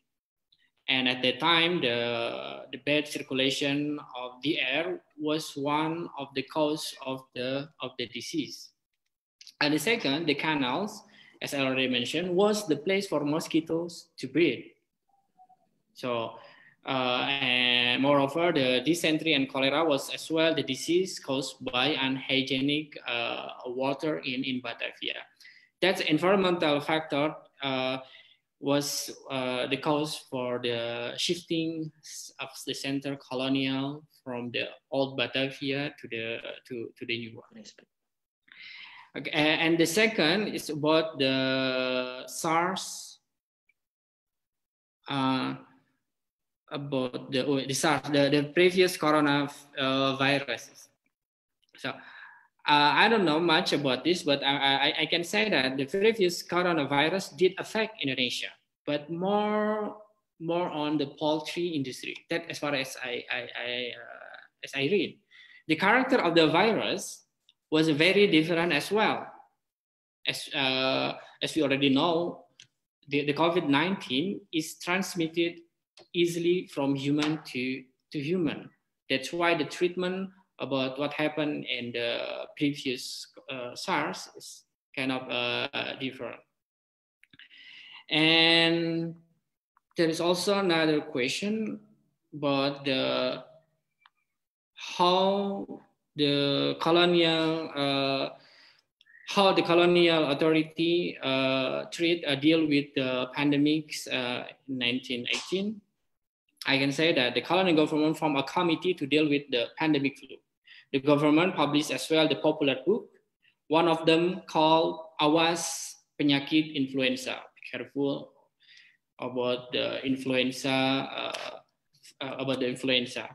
This is uh, the book, the form of the book is a dialogue between two people about the danger of the influenza and how to deal with it by consulting a modern medicine. Because at that time, uh, there were a lot of uh, people when uh, when they uh, when they deal with the uh, with the disease, uh, they, they use some kind of supernatural treatment. They they went to the traditional healers.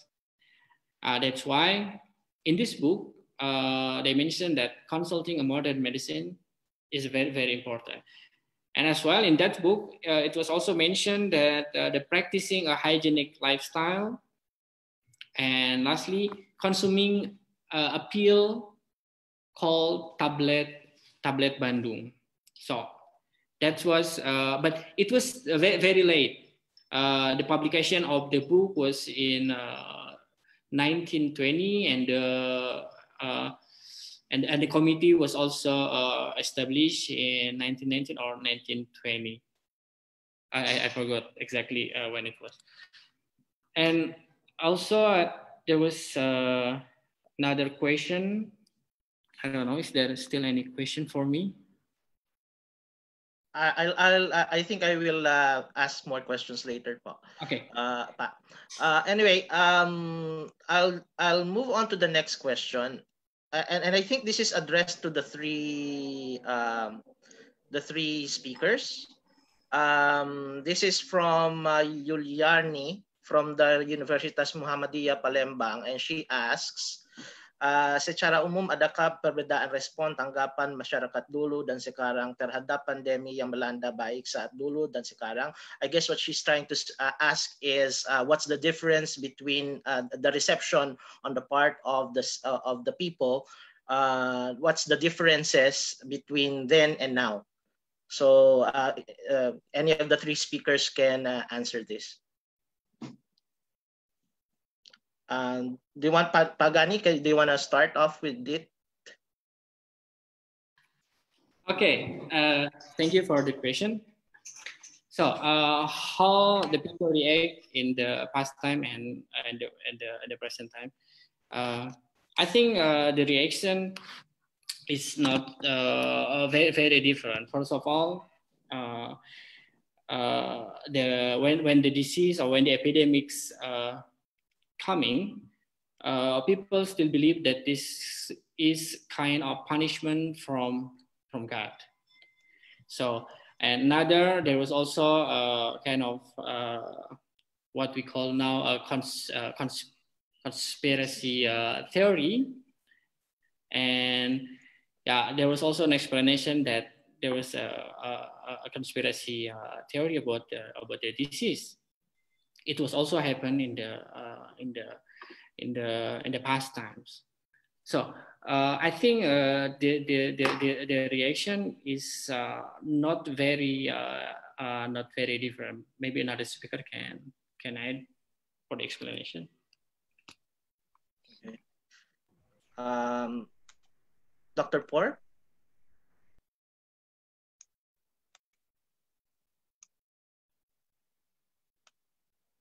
Um, Sorry, I forgot to open my microphone. Okay. yeah, can you hear me now?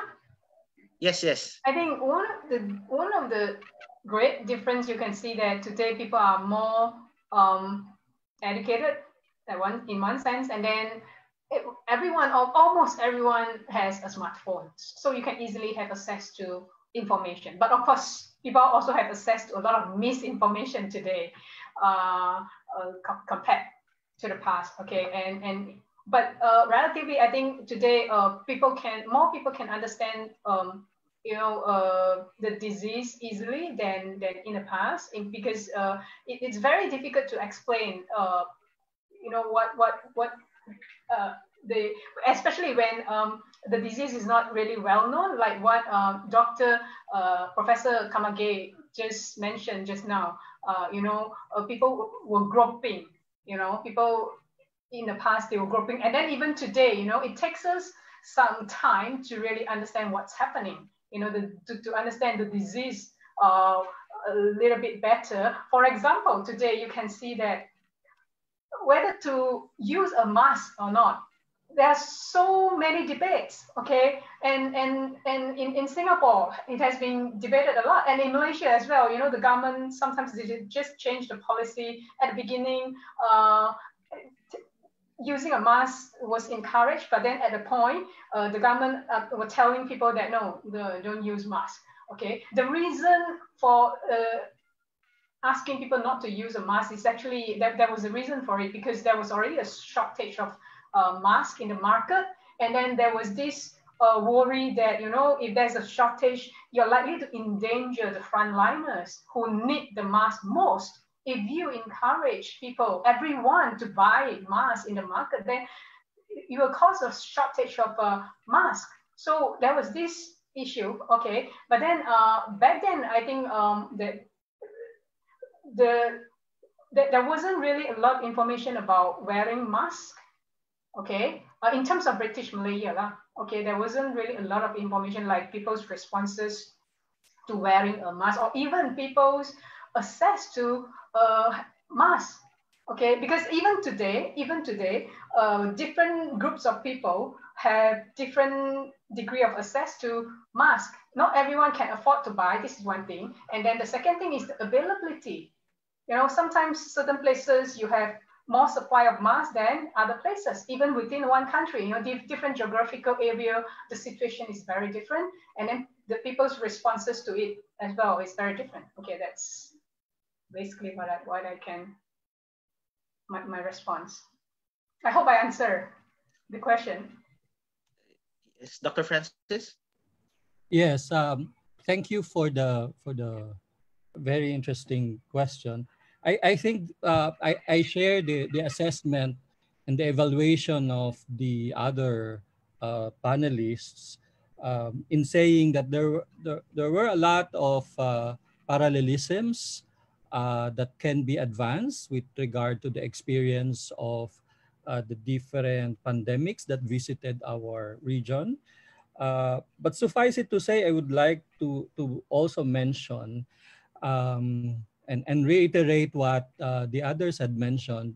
The, the flow of information is very important.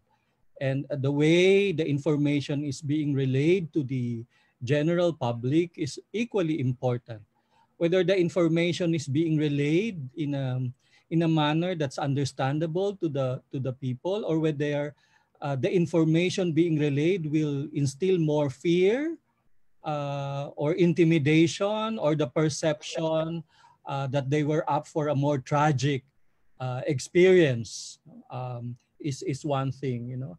Uh, remember that uh, the notion of public health is a social issue no so it's it's not only a, a, an issue of of governance of who defines what uh, what policy should be undertaken. First and foremost it should be the welfare of the people. uh, who should be uh, given into uh, primary consideration um, and and if if that is not taken uh, into account as a primary consideration then the, the, the other measures will uh, simply fall off the cliff.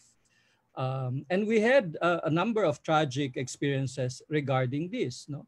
Uh, for example, as uh, was already mentioned, um, in, in a number of cases, epidemics and diseases have been racialized or, or given a, a particular ethnic uh, character. It's as if, you know, there is a difference between one set of human being to the other, you know, but we're all human beings and uh, the, the microbes, the, the viruses and the bacteria actually do not distinguish uh, the skin color, the skin tone of the people or on who should be infected or not. That's one. No? And but at, at the same time, in a highly uh, class divided society, one must also take into account the way the, the general public um, is uh, sort of experiencing uh, what may be per perceived as a level of victimization. Um, so they were already sort of experiencing uh, the disease and they were being victimized by the disease but the measures being undertaken by the authorities were at times perceived to be equally victimizing you know and that's also very very crucial so the social attitudes regarding all of these policies and practices and and uh, uh, measures to be undertaken are are very important no in history as well as in the present no? uh, I, I think uh, I would also like to piggyback on what, what Dr. Camagay mentioned as um, you know this time being an appropriate time not only for us uh, in the region to address our common concerns but also to look at you know uh, the, the way our localities uh, confront and contend with the disease no?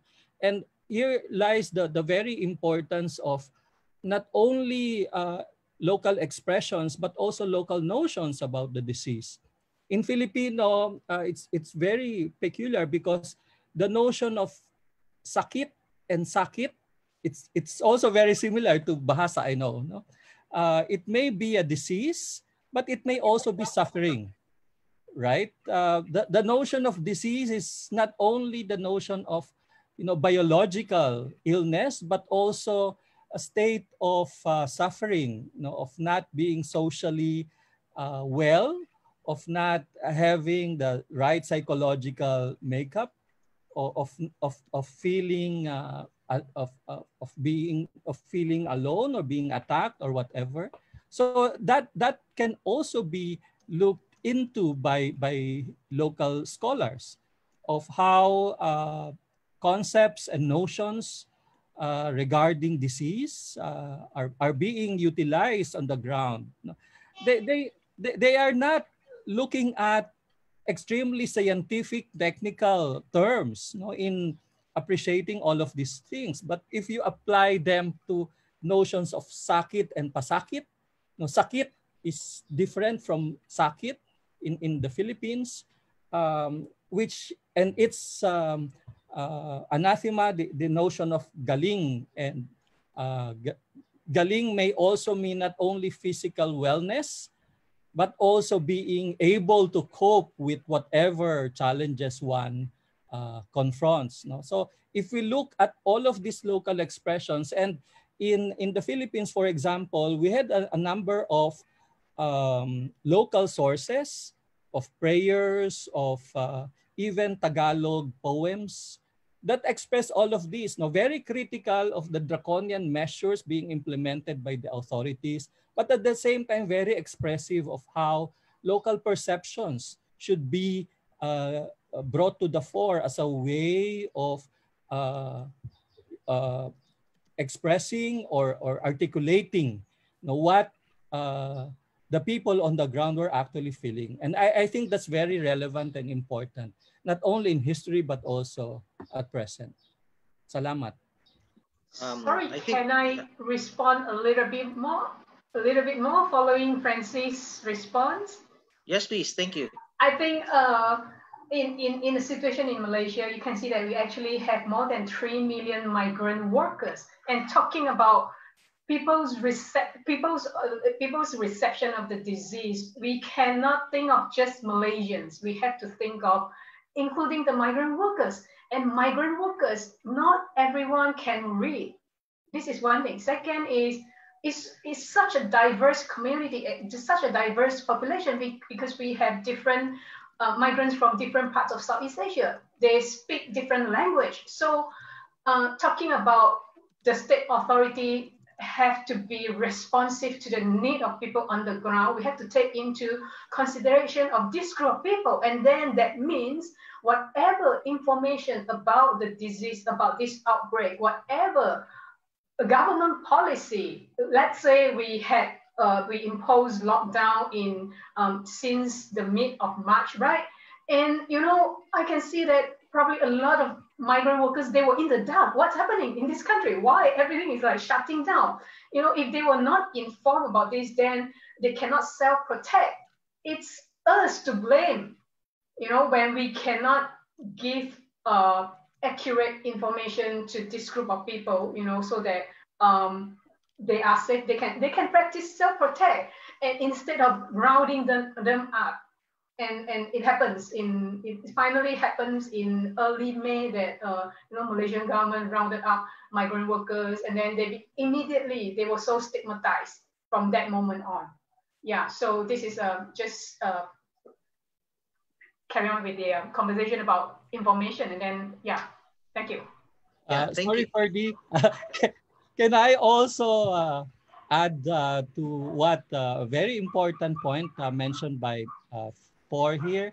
I think also the, the level of marginalization and powerlessness um, regarding uh, the way authorities were combating the disease on the one hand, and on the other hand, the, the, the marginalized people, those who were uh, um, in, the, in the margins of society and history, should also be uh, taken uh, into account. Okay. Uh, thank you for that question. Um, I think that uh, also satisfies the question of Maria Nela Florendo as well, because she she also asked that same question about how how you know Southeast Asians reacted to colonial government policies. Uh, in any case, uh, let's proceed to the next question. Well, it, uh, since you mentioned something about um, reactions, anyway, um, was there was there an uh, like this question was being posed by Kevin Santos? Was there a concentrate? And I guess I can direct this to the three uh, of the speakers uh, was there a an orchestrated move uh, when these epidemics broke out in the 19th and 20th century where where especially like the Spanish flu for example where where this a, was there a concerted move among between the or amongst the colonial powers in Southeast Asia to try and uh, you know contain this or was it merely a uh, uh, was it merely just focused on their respective territorial domains was there a you know concerted effort? Uh, I, I may address this to any of the three speakers if you know based on your studies. Um, yes, Ferdy. Yeah. Um. What? What? what uh, I probably would like to address this to the three speakers. If you know, uh, based on your studies, was was were there you know in the past uh, especially in, during the Spanish flu, where there was there a concerted effort amongst the colonial powers to try to cooperate in resolving these health uh, these uh, you know this crisis, or were they just more you know uh, focused in their own respective colonial spheres of influence? Ferdy, can I begin answering that? Yes, please. Thank you. yes, both are, are correct. No, the, the colonial authorities were of course, minding their own colonies. Uh, so the Americans were concerned with American public health policies in the Philippines, the Dutch in the, the case of uh, the Dutch East Indies, uh, the British in the British Malaya, uh, Burma, India colonies. But remember also that there, uh, there were uh, a number of um, a, a medical and scientific conferences in the region that happened uh, as a result of or even before and after uh, these pandemic uh, breakouts. No? Um, uh, of course, these were mostly represented by the colonial masters, but they were uh, not only looking at ways of uh, learning from each other and coordinating with one another. Remember, there was also this power play, you know, how one colonial master can get the upper hand vis-a-vis the, the others.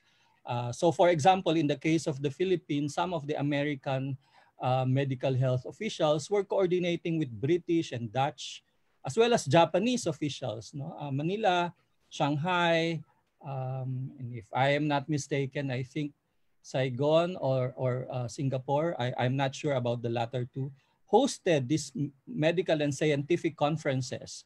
Um, and they were able to come up with uh, measures of coordination between and among the different uh, health authorities. Whether these measures were really implemented or were they, were they effective enough is, uh, is another uh, case in point. No? But at least there, there were already attempts. No? Um, the, uh, the institutionalization of the World Health Organization, of course, would come at a latter day period, but there were already some notions of uh, um, coordination with the realization that uh, viruses and, and microbes actually do not uh, consider national or colonial boundaries in the first place. You know, and you know, if one part of the region is affected, then the other uh, parts can easily be affected as well. So it was based on that realization. The other thing that maybe some of the panelists may also uh, answer is the way, uh, piggybacking again on what Dr. Camagay mentioned, the way local uh, medical practitioners uh, were behaving and looking at the other uh, societies in the region. Because I know, for example, of um, studies made by Filipino Ilustrados in the late 19th century some of them uh, became activists, uh, political activists, of course, but originally they were doctors. No, uh, you have Dominador Gomez, you have Jose Rizal, you have Trinidad Pardo de Tavera, you have a lot of uh, medical practitioners who were also, on the one hand, um, uh, writing about their political pieces, but at the same time, they were also writing about scientific and medical studies. No? The, the very famous um, General Antonio Luna had his master's thesis, medical thesis on malaria, for example, and and or uh, Trinidad, Dr. Trinidad Pardo de Tavera wrote something about uh, indigenous medical practices and herbal medicine in, in Southeast Asia. So, uh, so things like those no, should also be taken into account no, beyond, the beyond the level of the colonial state and beyond the, the institutionalized way of interacting, coordinating with one another, how are the local practitioners, no, both the formal professional medical practitioners and the, what the colonial masters would call the non-formal or traditional medical practitioners. Uh, we're reacting to this. No, I, I think we have a lot to study no, on, on this topic as well. Thank you. I, I think uh, in, in regards to this question, I think Philippine scholars and Indonesian historians uh, have been doing much more thing and, and much ahead than uh, uh, than Malaysian historian because uh, yeah, this is a international health and and uh, you know with the focus on the perspective by South, South, Southeast Asian uh, medical doctors or, or, or, or, whichever group, okay? But it's from Southeast Asia. Uh, I think this is still very understudied um, in, in, in the case of, uh, in the situation of Malaysia. And, and I can see that there are like uh, Mercedes, she has done a lot on international health, right? And then uh, Indonesia, I can see that uh, in terms of the involvement of native um, medical doctors. Indonesian has done a lot as well, like um, Hans Pols and uh, as well as uh, um, Vivek. These are two, yeah, who have done a lot of uh, the, the roles of uh, native medical doctors. And Philippines, Philippines is the, the one with the most uh, comprehensive study, like uh, the role of uh, the, the, um, the elites, Filipino elites. Yeah, so I don't have much to say in, in, in this respect. Huh? Yeah, thank you. Okay, uh, regarding this question, uh, I would like to add some information about what uh, from the Indonesian history. For example, the, the collaboration between the colonial government with the uh, religious uh, leader, we can read it from the history of the vaccination in the early 19th uh, century. It was uh, when uh, the program of the vaccination in the mid 19th, uh, in, the, in, the, in, the, early 19th century was very at, at, the at the beginning it was very difficult to to be put in practice because there was uh, a resistance from the from the people. Uh, the the local people said that uh, putting something uh, stranger from the outside to our body, it is a very uh, in, in, religious terms called haram.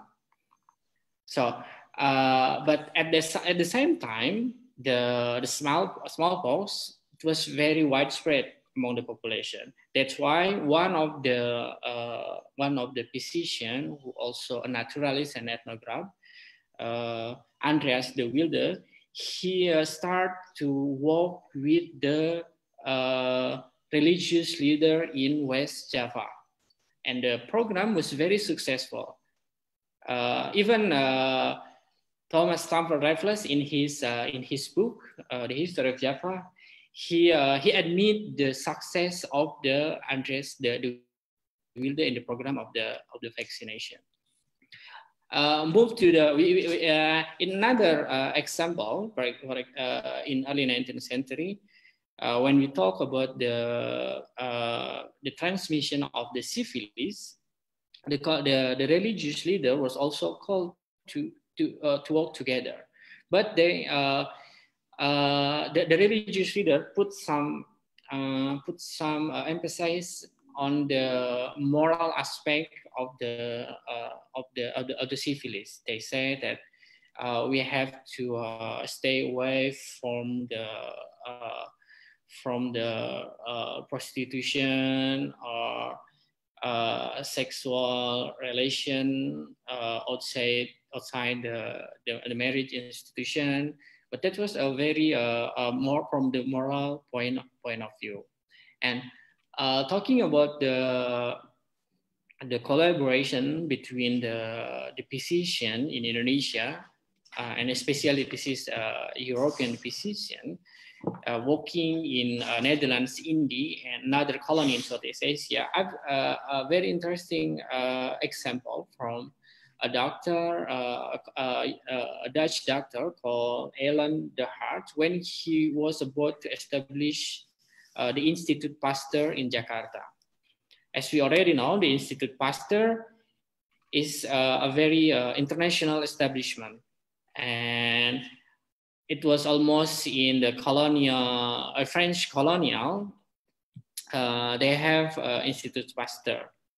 But in Indonesia, uh, Eilerts de Haan, they, they established an institute Pasteur with, which has no, uh, which has, with, uh, has not related to the institute Pasteur in, in Paris. Because when I tried to, uh, to open the archive there, there was no uh, uh, information about the institution, uh, Institute Pasteur in, in Batavia.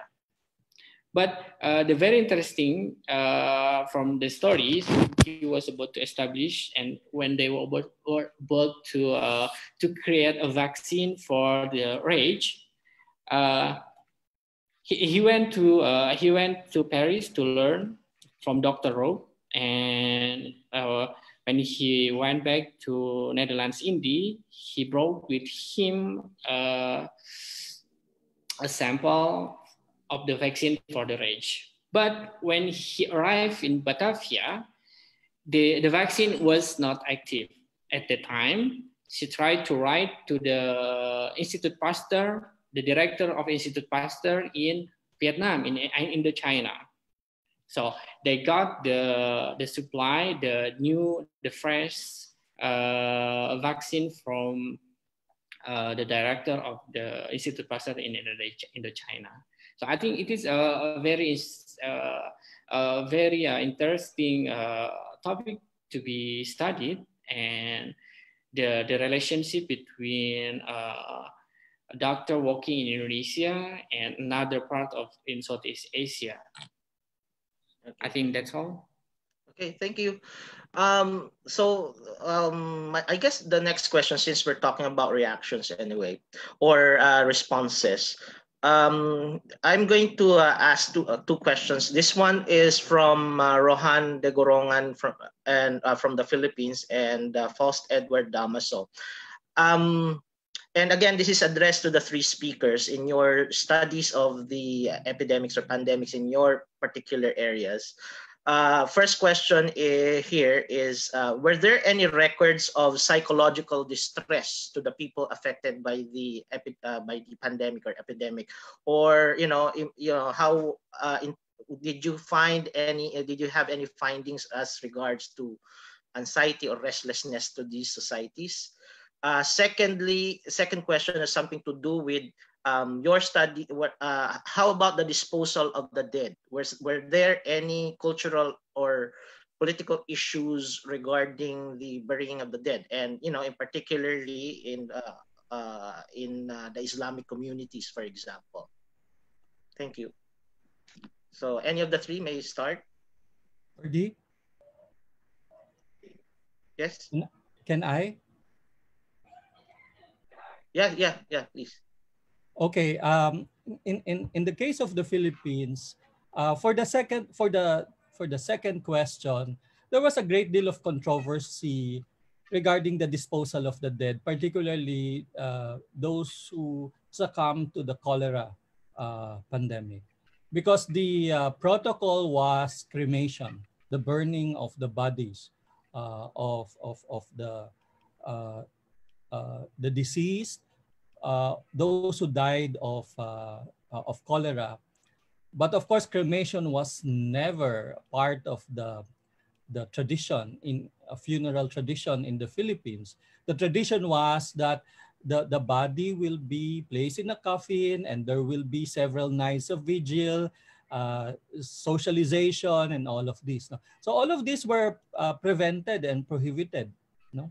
And not only that, they will take the, the body of the dead and uh, bring it to the crematorium to the horror of the of the relatives, you know. Um, so some people actually resorted to smuggling the bodies of their dead relatives, or even burying them without the notification to the authorities or letting them float in the river or whatever. To them, that's a better option than seeing the bodies of their dead relatives being burned or cremated you know uh, that's one.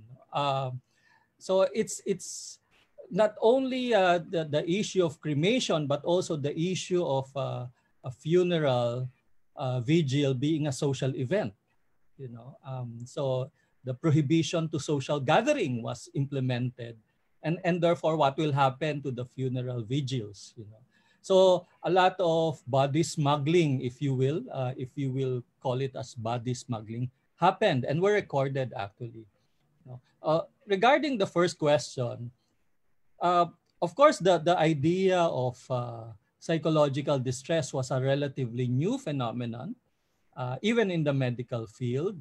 But again, uh, expressions of uh, distress were all over in the in the records, you know, ranging from reactions uh, against those who were perceived to be perpetrators.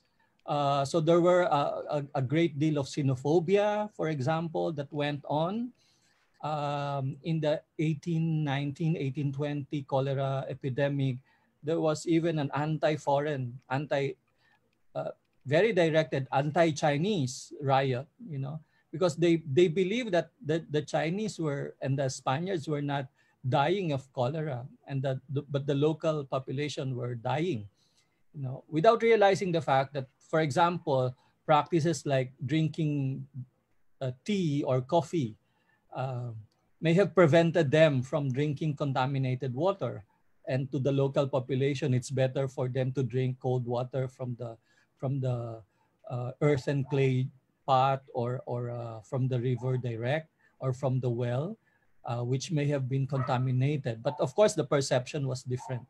You know, the level of psychological distress and anxiety can also be realized to be observed during the, the uh, cholera and influenza pandemic uh, in the Philippines, you know, uh, especially in the case of cholera because we were under uh, the first years of American occupation. So there was war condition uh, still. No? Um, and in the case of the 1918-1919 uh, influenza pandemic, the idea that the Filipinos were being, for the first time, uh, placed as uh, uh, heads and directors of health institutions uh, because of the American policy of Philippinization. But at the same time, they were being blamed you know, for the disease that were not their own making. You know, um, so things like those also happen. Uh, and and again, no, the the uh, capacity of society to relay the necessary correct information uh, in a timely manner is essential in this. Otherwise, all of the system will will uh, fall. Okay, thank you. Thank you. Okay. I think that is a very, very interesting question. I'm actually very interested in uh, the issue of uh, death management or management of uh, remains, uh, human remains. But in terms of the past pandemic, I haven't come across any study of a death management uh, uh, in past pandemic. Uh, even Liew Kai Khiun's article didn't mention anything about, he did mention a little bit about um, grave digger. they were asking for to be more well paid because the workload is so much heavier than usual time, but then they were not paid well. There is only one line mentioning this. So this is one interesting topic to pursue. I mean, for anyone who is interested, yeah, yeah, and, and not just if uh, the the uh, handling remains of uh, leprosy patients is is another fascinating issue. Yeah, and and uh, yeah, that's a, different topic lah. Okay, that's what I can respond. Okay. Uh, regarding the second question, uh, from the present case of the pandemic, there are a lot of debate about how to uh, how to deal with the dead uh, body. And there was also the case of smuggling body from the hospital and which caused the, the spread of the of the of the disease. But that uh, but that is uh, the present case of uh, the COVID-19. In the past time, uh, as far as I read from the sources, well, there was also uh, the case of uh, the plague in 1930. Uh, it was a very interesting because at the time, what we, we call the long, uh, the lung plague, uh, the plague that that transmits with the respiration. So it was a very dangerous at that time. So to know uh, to identify whether the the dead body was uh, uh, the death was caused by the plague or not, uh, we need to inject uh, the body. We need to take the sample uh, from the dead body, and that was the the problem. At the time, the the religious leader said that we we are not allowed to uh, to touch or to take something uh, or to destroy uh, the, the, the, the, dead body. But uh, there was a, a, a, physician, a local physician, Dr. Ahmad Ramali. Uh, he was uh, graduated from Stovia Medical School in Batavia in 1928 or 30. Uh, and besides he was uh, a physician, was also a religious uh, leader. He learned uh, religious very deeply from a very prominent uh, religious uh, political leader at that time, Haji Agus Salim. So he, he learned a lot from Haji Agus Salim. And when another religious leader confront against the, the injection of the body, of the dead body, he said with uh, he said that actually the religion allow to uh, to do that, and he put beside uh, uh, beside the medical uh, reason, of course, uh, they would also uh, some uh, religious, some religious argument. And at that time, people, of course, not all of them, but most of religious leaders can understand that uh, in the end we are allowed to uh, to inject the body because if it is for the good of the whole population uh, we are allowed to do what is in the beginning prohibited. I think that is uh, the the very uh, interesting uh, topic. I, I, I wrote about that in my previous article about actually about dr ramali that's all Ferdy.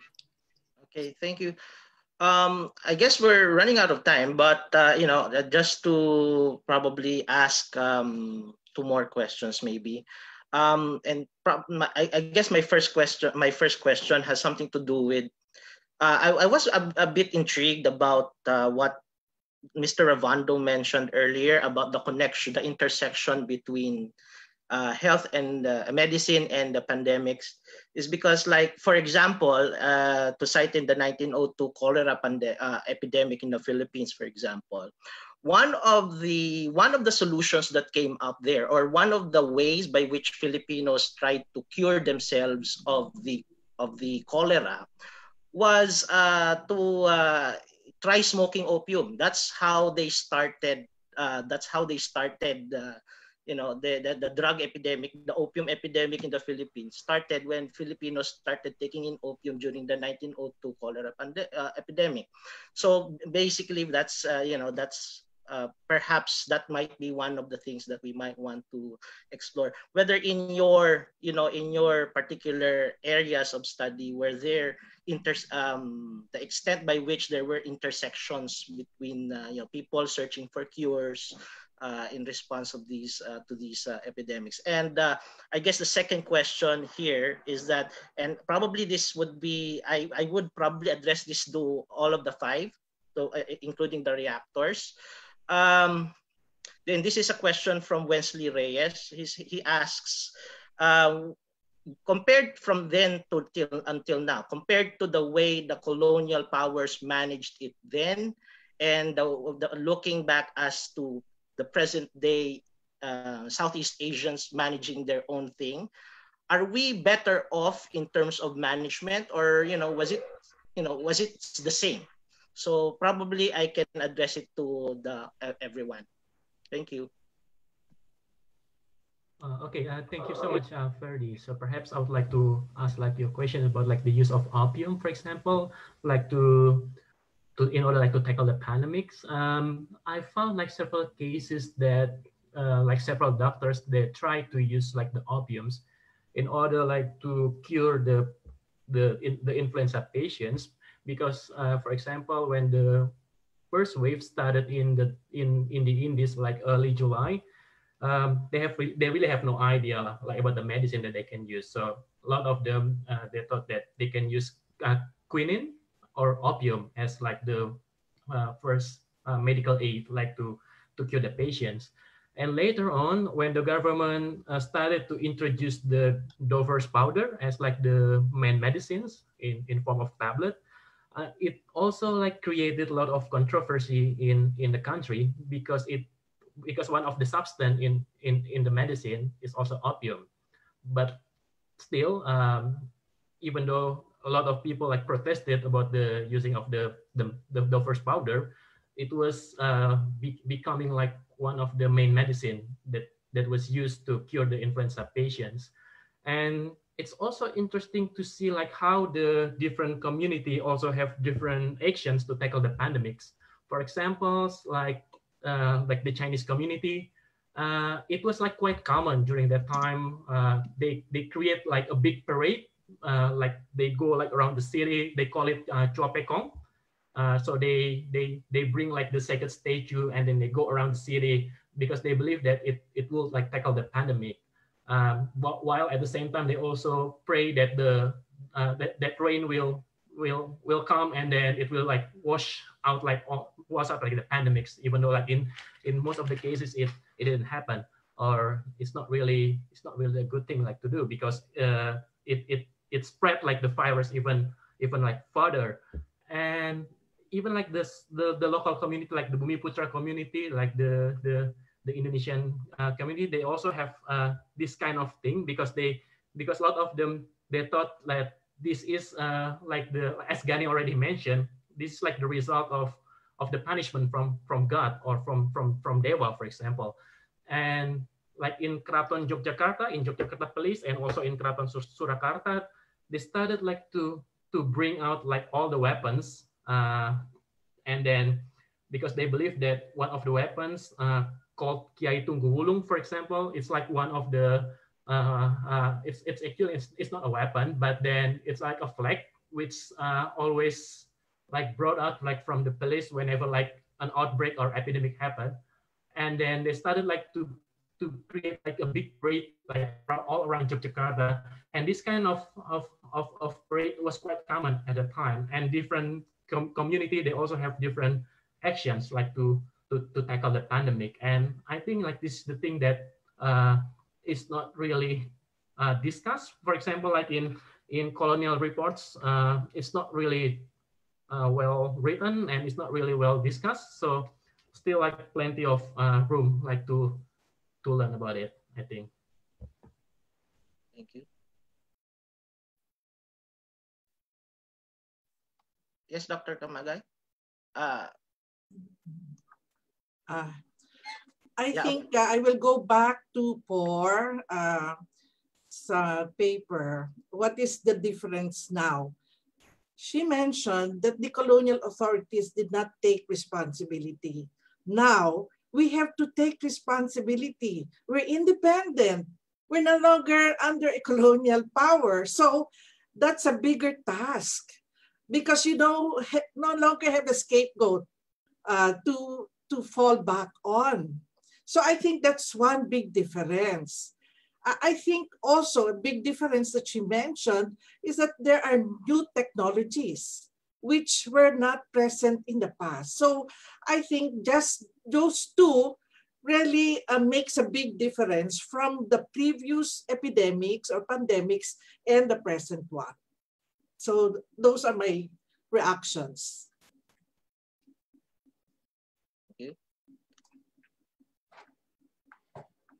uh, speakers? You have. Okay, maybe uh, I find that this uh, the response of a medicine and health system, universal healthcare system, and to uh, actually there is one uh, response or question from the, the chat. Huh? I think that is, is related. It's very interesting. The question asked, is socialist health system more uh, efficient model in responding to pandemics. Uh, I think this is interesting because if we look at the responses in, U, uh, in Europe uh, to this pandemic, it's very interesting. In the past, we have been so um, influenced by this colonial perspective that, you know, the white people, the white men are always great. But if you look at Europe today, they, especially the Northern Europe, they have such a good health system, but their responses to this pandemic, actually, you can see that I don't know what's happening to them. And especially Swedish, the, the, the Swedish government's response to this pandemic is so, uh, I don't know how, I can't find any words to describe, but it's just like so lagging that causing a lot of death. So it actually is a good time that we should relearn our perception of all these, you know, the colonial, the Europeans are better than, than Asian. But uh, but of course, we need to go get go back to what uh, uh, Professor Camagay just mentioned. Uh, in in Asia, we are no longer, you know, uh, colonized. Uh, now we are already independent state. Things are in our hands, so it's up to us to shape the system that we want, rather than you know letting it like uh, you know not taking responsibility of people's health. we should actually push for universal access of medicine for everyone yeah, that's what I can respond.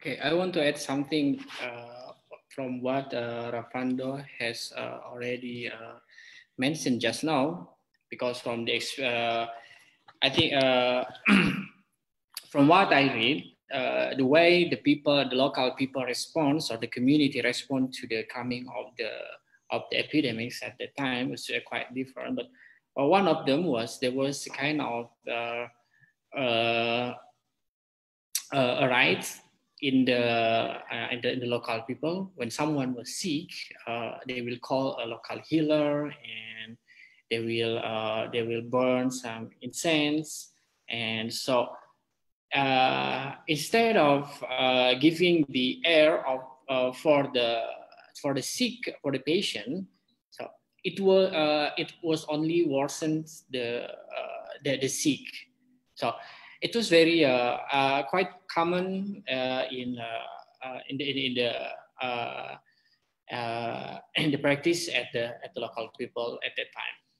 So I think, but from what uh, I will just, uh, I, I want to continue to, to give a comment from what just uh, Dr. Por mentioned. even though, yes, we are no longer in a colonized, in a colonial state, colonization was end, but I think uh, we still see the same uh, uh, the, the, the, the, the, same problem. If the at the at the colonial period we the access to the health system was only uh, was only European privilege, or the uh, in, in, Indonesian case was also the the aristocrat. Uh, but uh, uh, everybody, uh, everyone hoped that after the the colonization, every every people, everyone could get the access to the to the health system. But in in the case of Indonesia now, I think uh, the access to the health care is still very uh, very uh, very difficult, especially for the uh, for the lower class for the lower class people. You know, because recently, for example, the government raised the the payment for the for the insurance, even in the in this time of the, the of the pandemics. So. Uh, so what I want to say is, uh, even though the the colonial uh, regime has ended, but I think they still use the same uh, uh, uh the same uh, way of thought how to, how to treat the people, and and that what and at that point, I see that the problem is not only the colonization. The colonization, I mean, not only a racial a, a, racial problem, but also uh, there was a, a, a class a class problem because the lower class, the popular class, uh, from the from the colonial period until now was the, uh, the, the, the, the one who is very susceptible to uh, to the disease. I think that's my that's all. Thank you, uh, Dr. Francis. Yes, uh, uh, thanks uh, to to the others, no. Um, and I would like to to uh, piggyback again on what has already men, has has been mentioned. Uh, I agree with Dr. Camagay uh, and and Dr. Por that we already have um, the same relatively more scientific know-how. We we have the international institutions for coordination and information dissemination in place, supposedly already. Uh, and this should be guiding the, the public health uh, officials. No? And at the same time, I also agree with what Gani mentioned, that uh, uh, what is equally important is the question of access, universal access. I think also Por mentioned this. Uh, so there, because previously in even in colonial or in the immediate post-independence uh, period, uh, public health was really a public enterprise.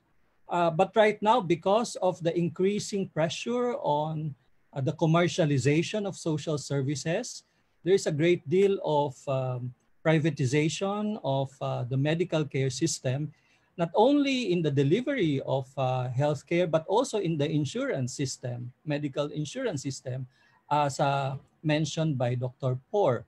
So uh, while it is true that uh, the epidemic should be confronted as a public health issue, in some societies, it became a public health issue being confronted by private commercial enterprises.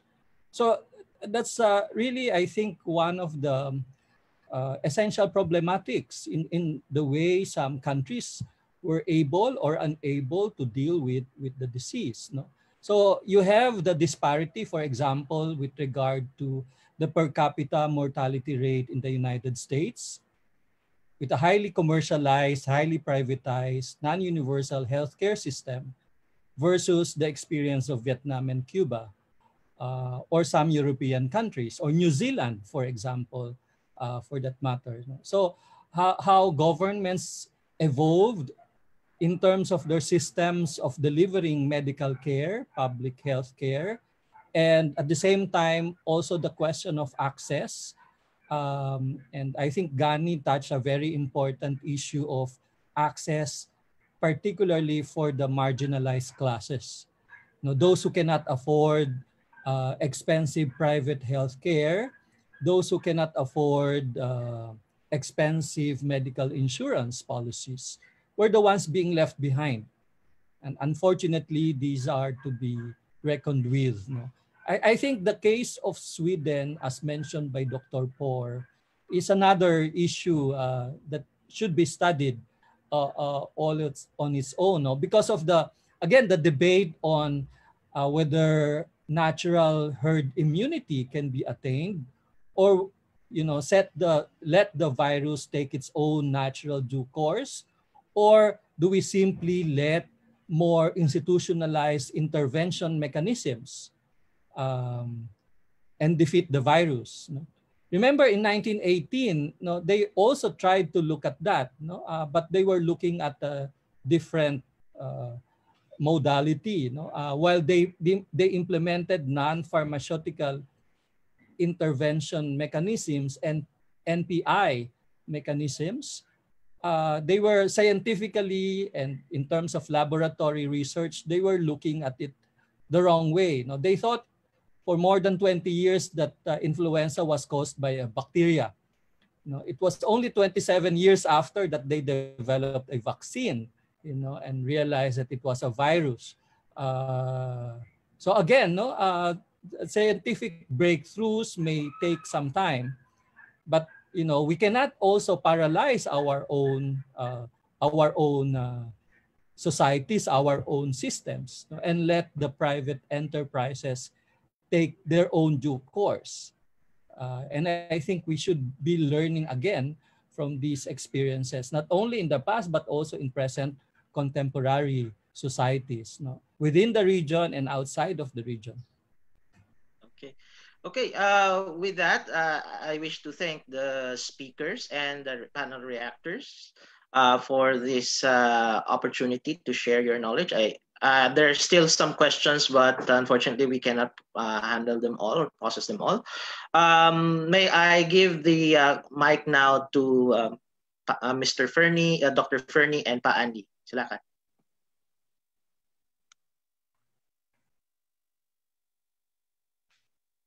Thank you, Mr. Victoria, for your excellent moderation of the webinar. Um, I'm very happy that we had a successful event this afternoon. I just wish we had more time to address all the questions. But nonetheless, I hope all of you uh, learned from this discussion and that the lessons we take with us from here on will guide us in the way we address the current crisis that we are facing worldwide. So thank you very much and enjoy the rest of the day. Thank you. Uh, I'm also very glad to follow this webinar today. Uh, it is very lively discussion and the information that was conveyed by speakers and the director is of great value yeah, to our understanding about the pandemic, not only in our own national experience, but in more wider perspective in the region in Southeast Asia. And I think Dr. Camagay point uh, very important that the lesson from this webinar today that we should more sensitize ourselves and understanding about our own view about the disease and we must we now have to deal with it in our hand. We don't have any scapegoat anymore. And I think in addition, I think it is beneficial for us also to widen our perspective in uh, yeah, regional terms, uh, which I believe from this webinar provide us a better understanding about the pandemic, whether in the past or the current situation. And I am not thinking that we should continue to organize another activity at Nando like this with different topics that bring scholars to get from different regions in Southeast Asia together. Uh, maybe we can discuss it later. Uh, and Masyarakat Sejarawan Indonesia and Philippine Historical Association must or should collaborate more to develop other issues that we have in common in this region. And I think on behalf of Masyarakat Sejarawan Indonesia, I would like to express my gratitude and thanks to speakers, reactors, and participants of this webinar. Terima kasih. I will give it to On behalf of the Southeast Asian Research Center and Hub, as well as the Philippine Historical Association and the National Quincentennial Commission Committee, I'd also like to extend our thanks to our speakers, the reactors, and our moderator for this excellent, fantastic webinar. Yes. Thank you very much. Thank you. Thank you. Salamat. Thank you. Thank you very much. Yeah. Sampai ketemu lagi. Sampai jumpa. Sampai jumpa.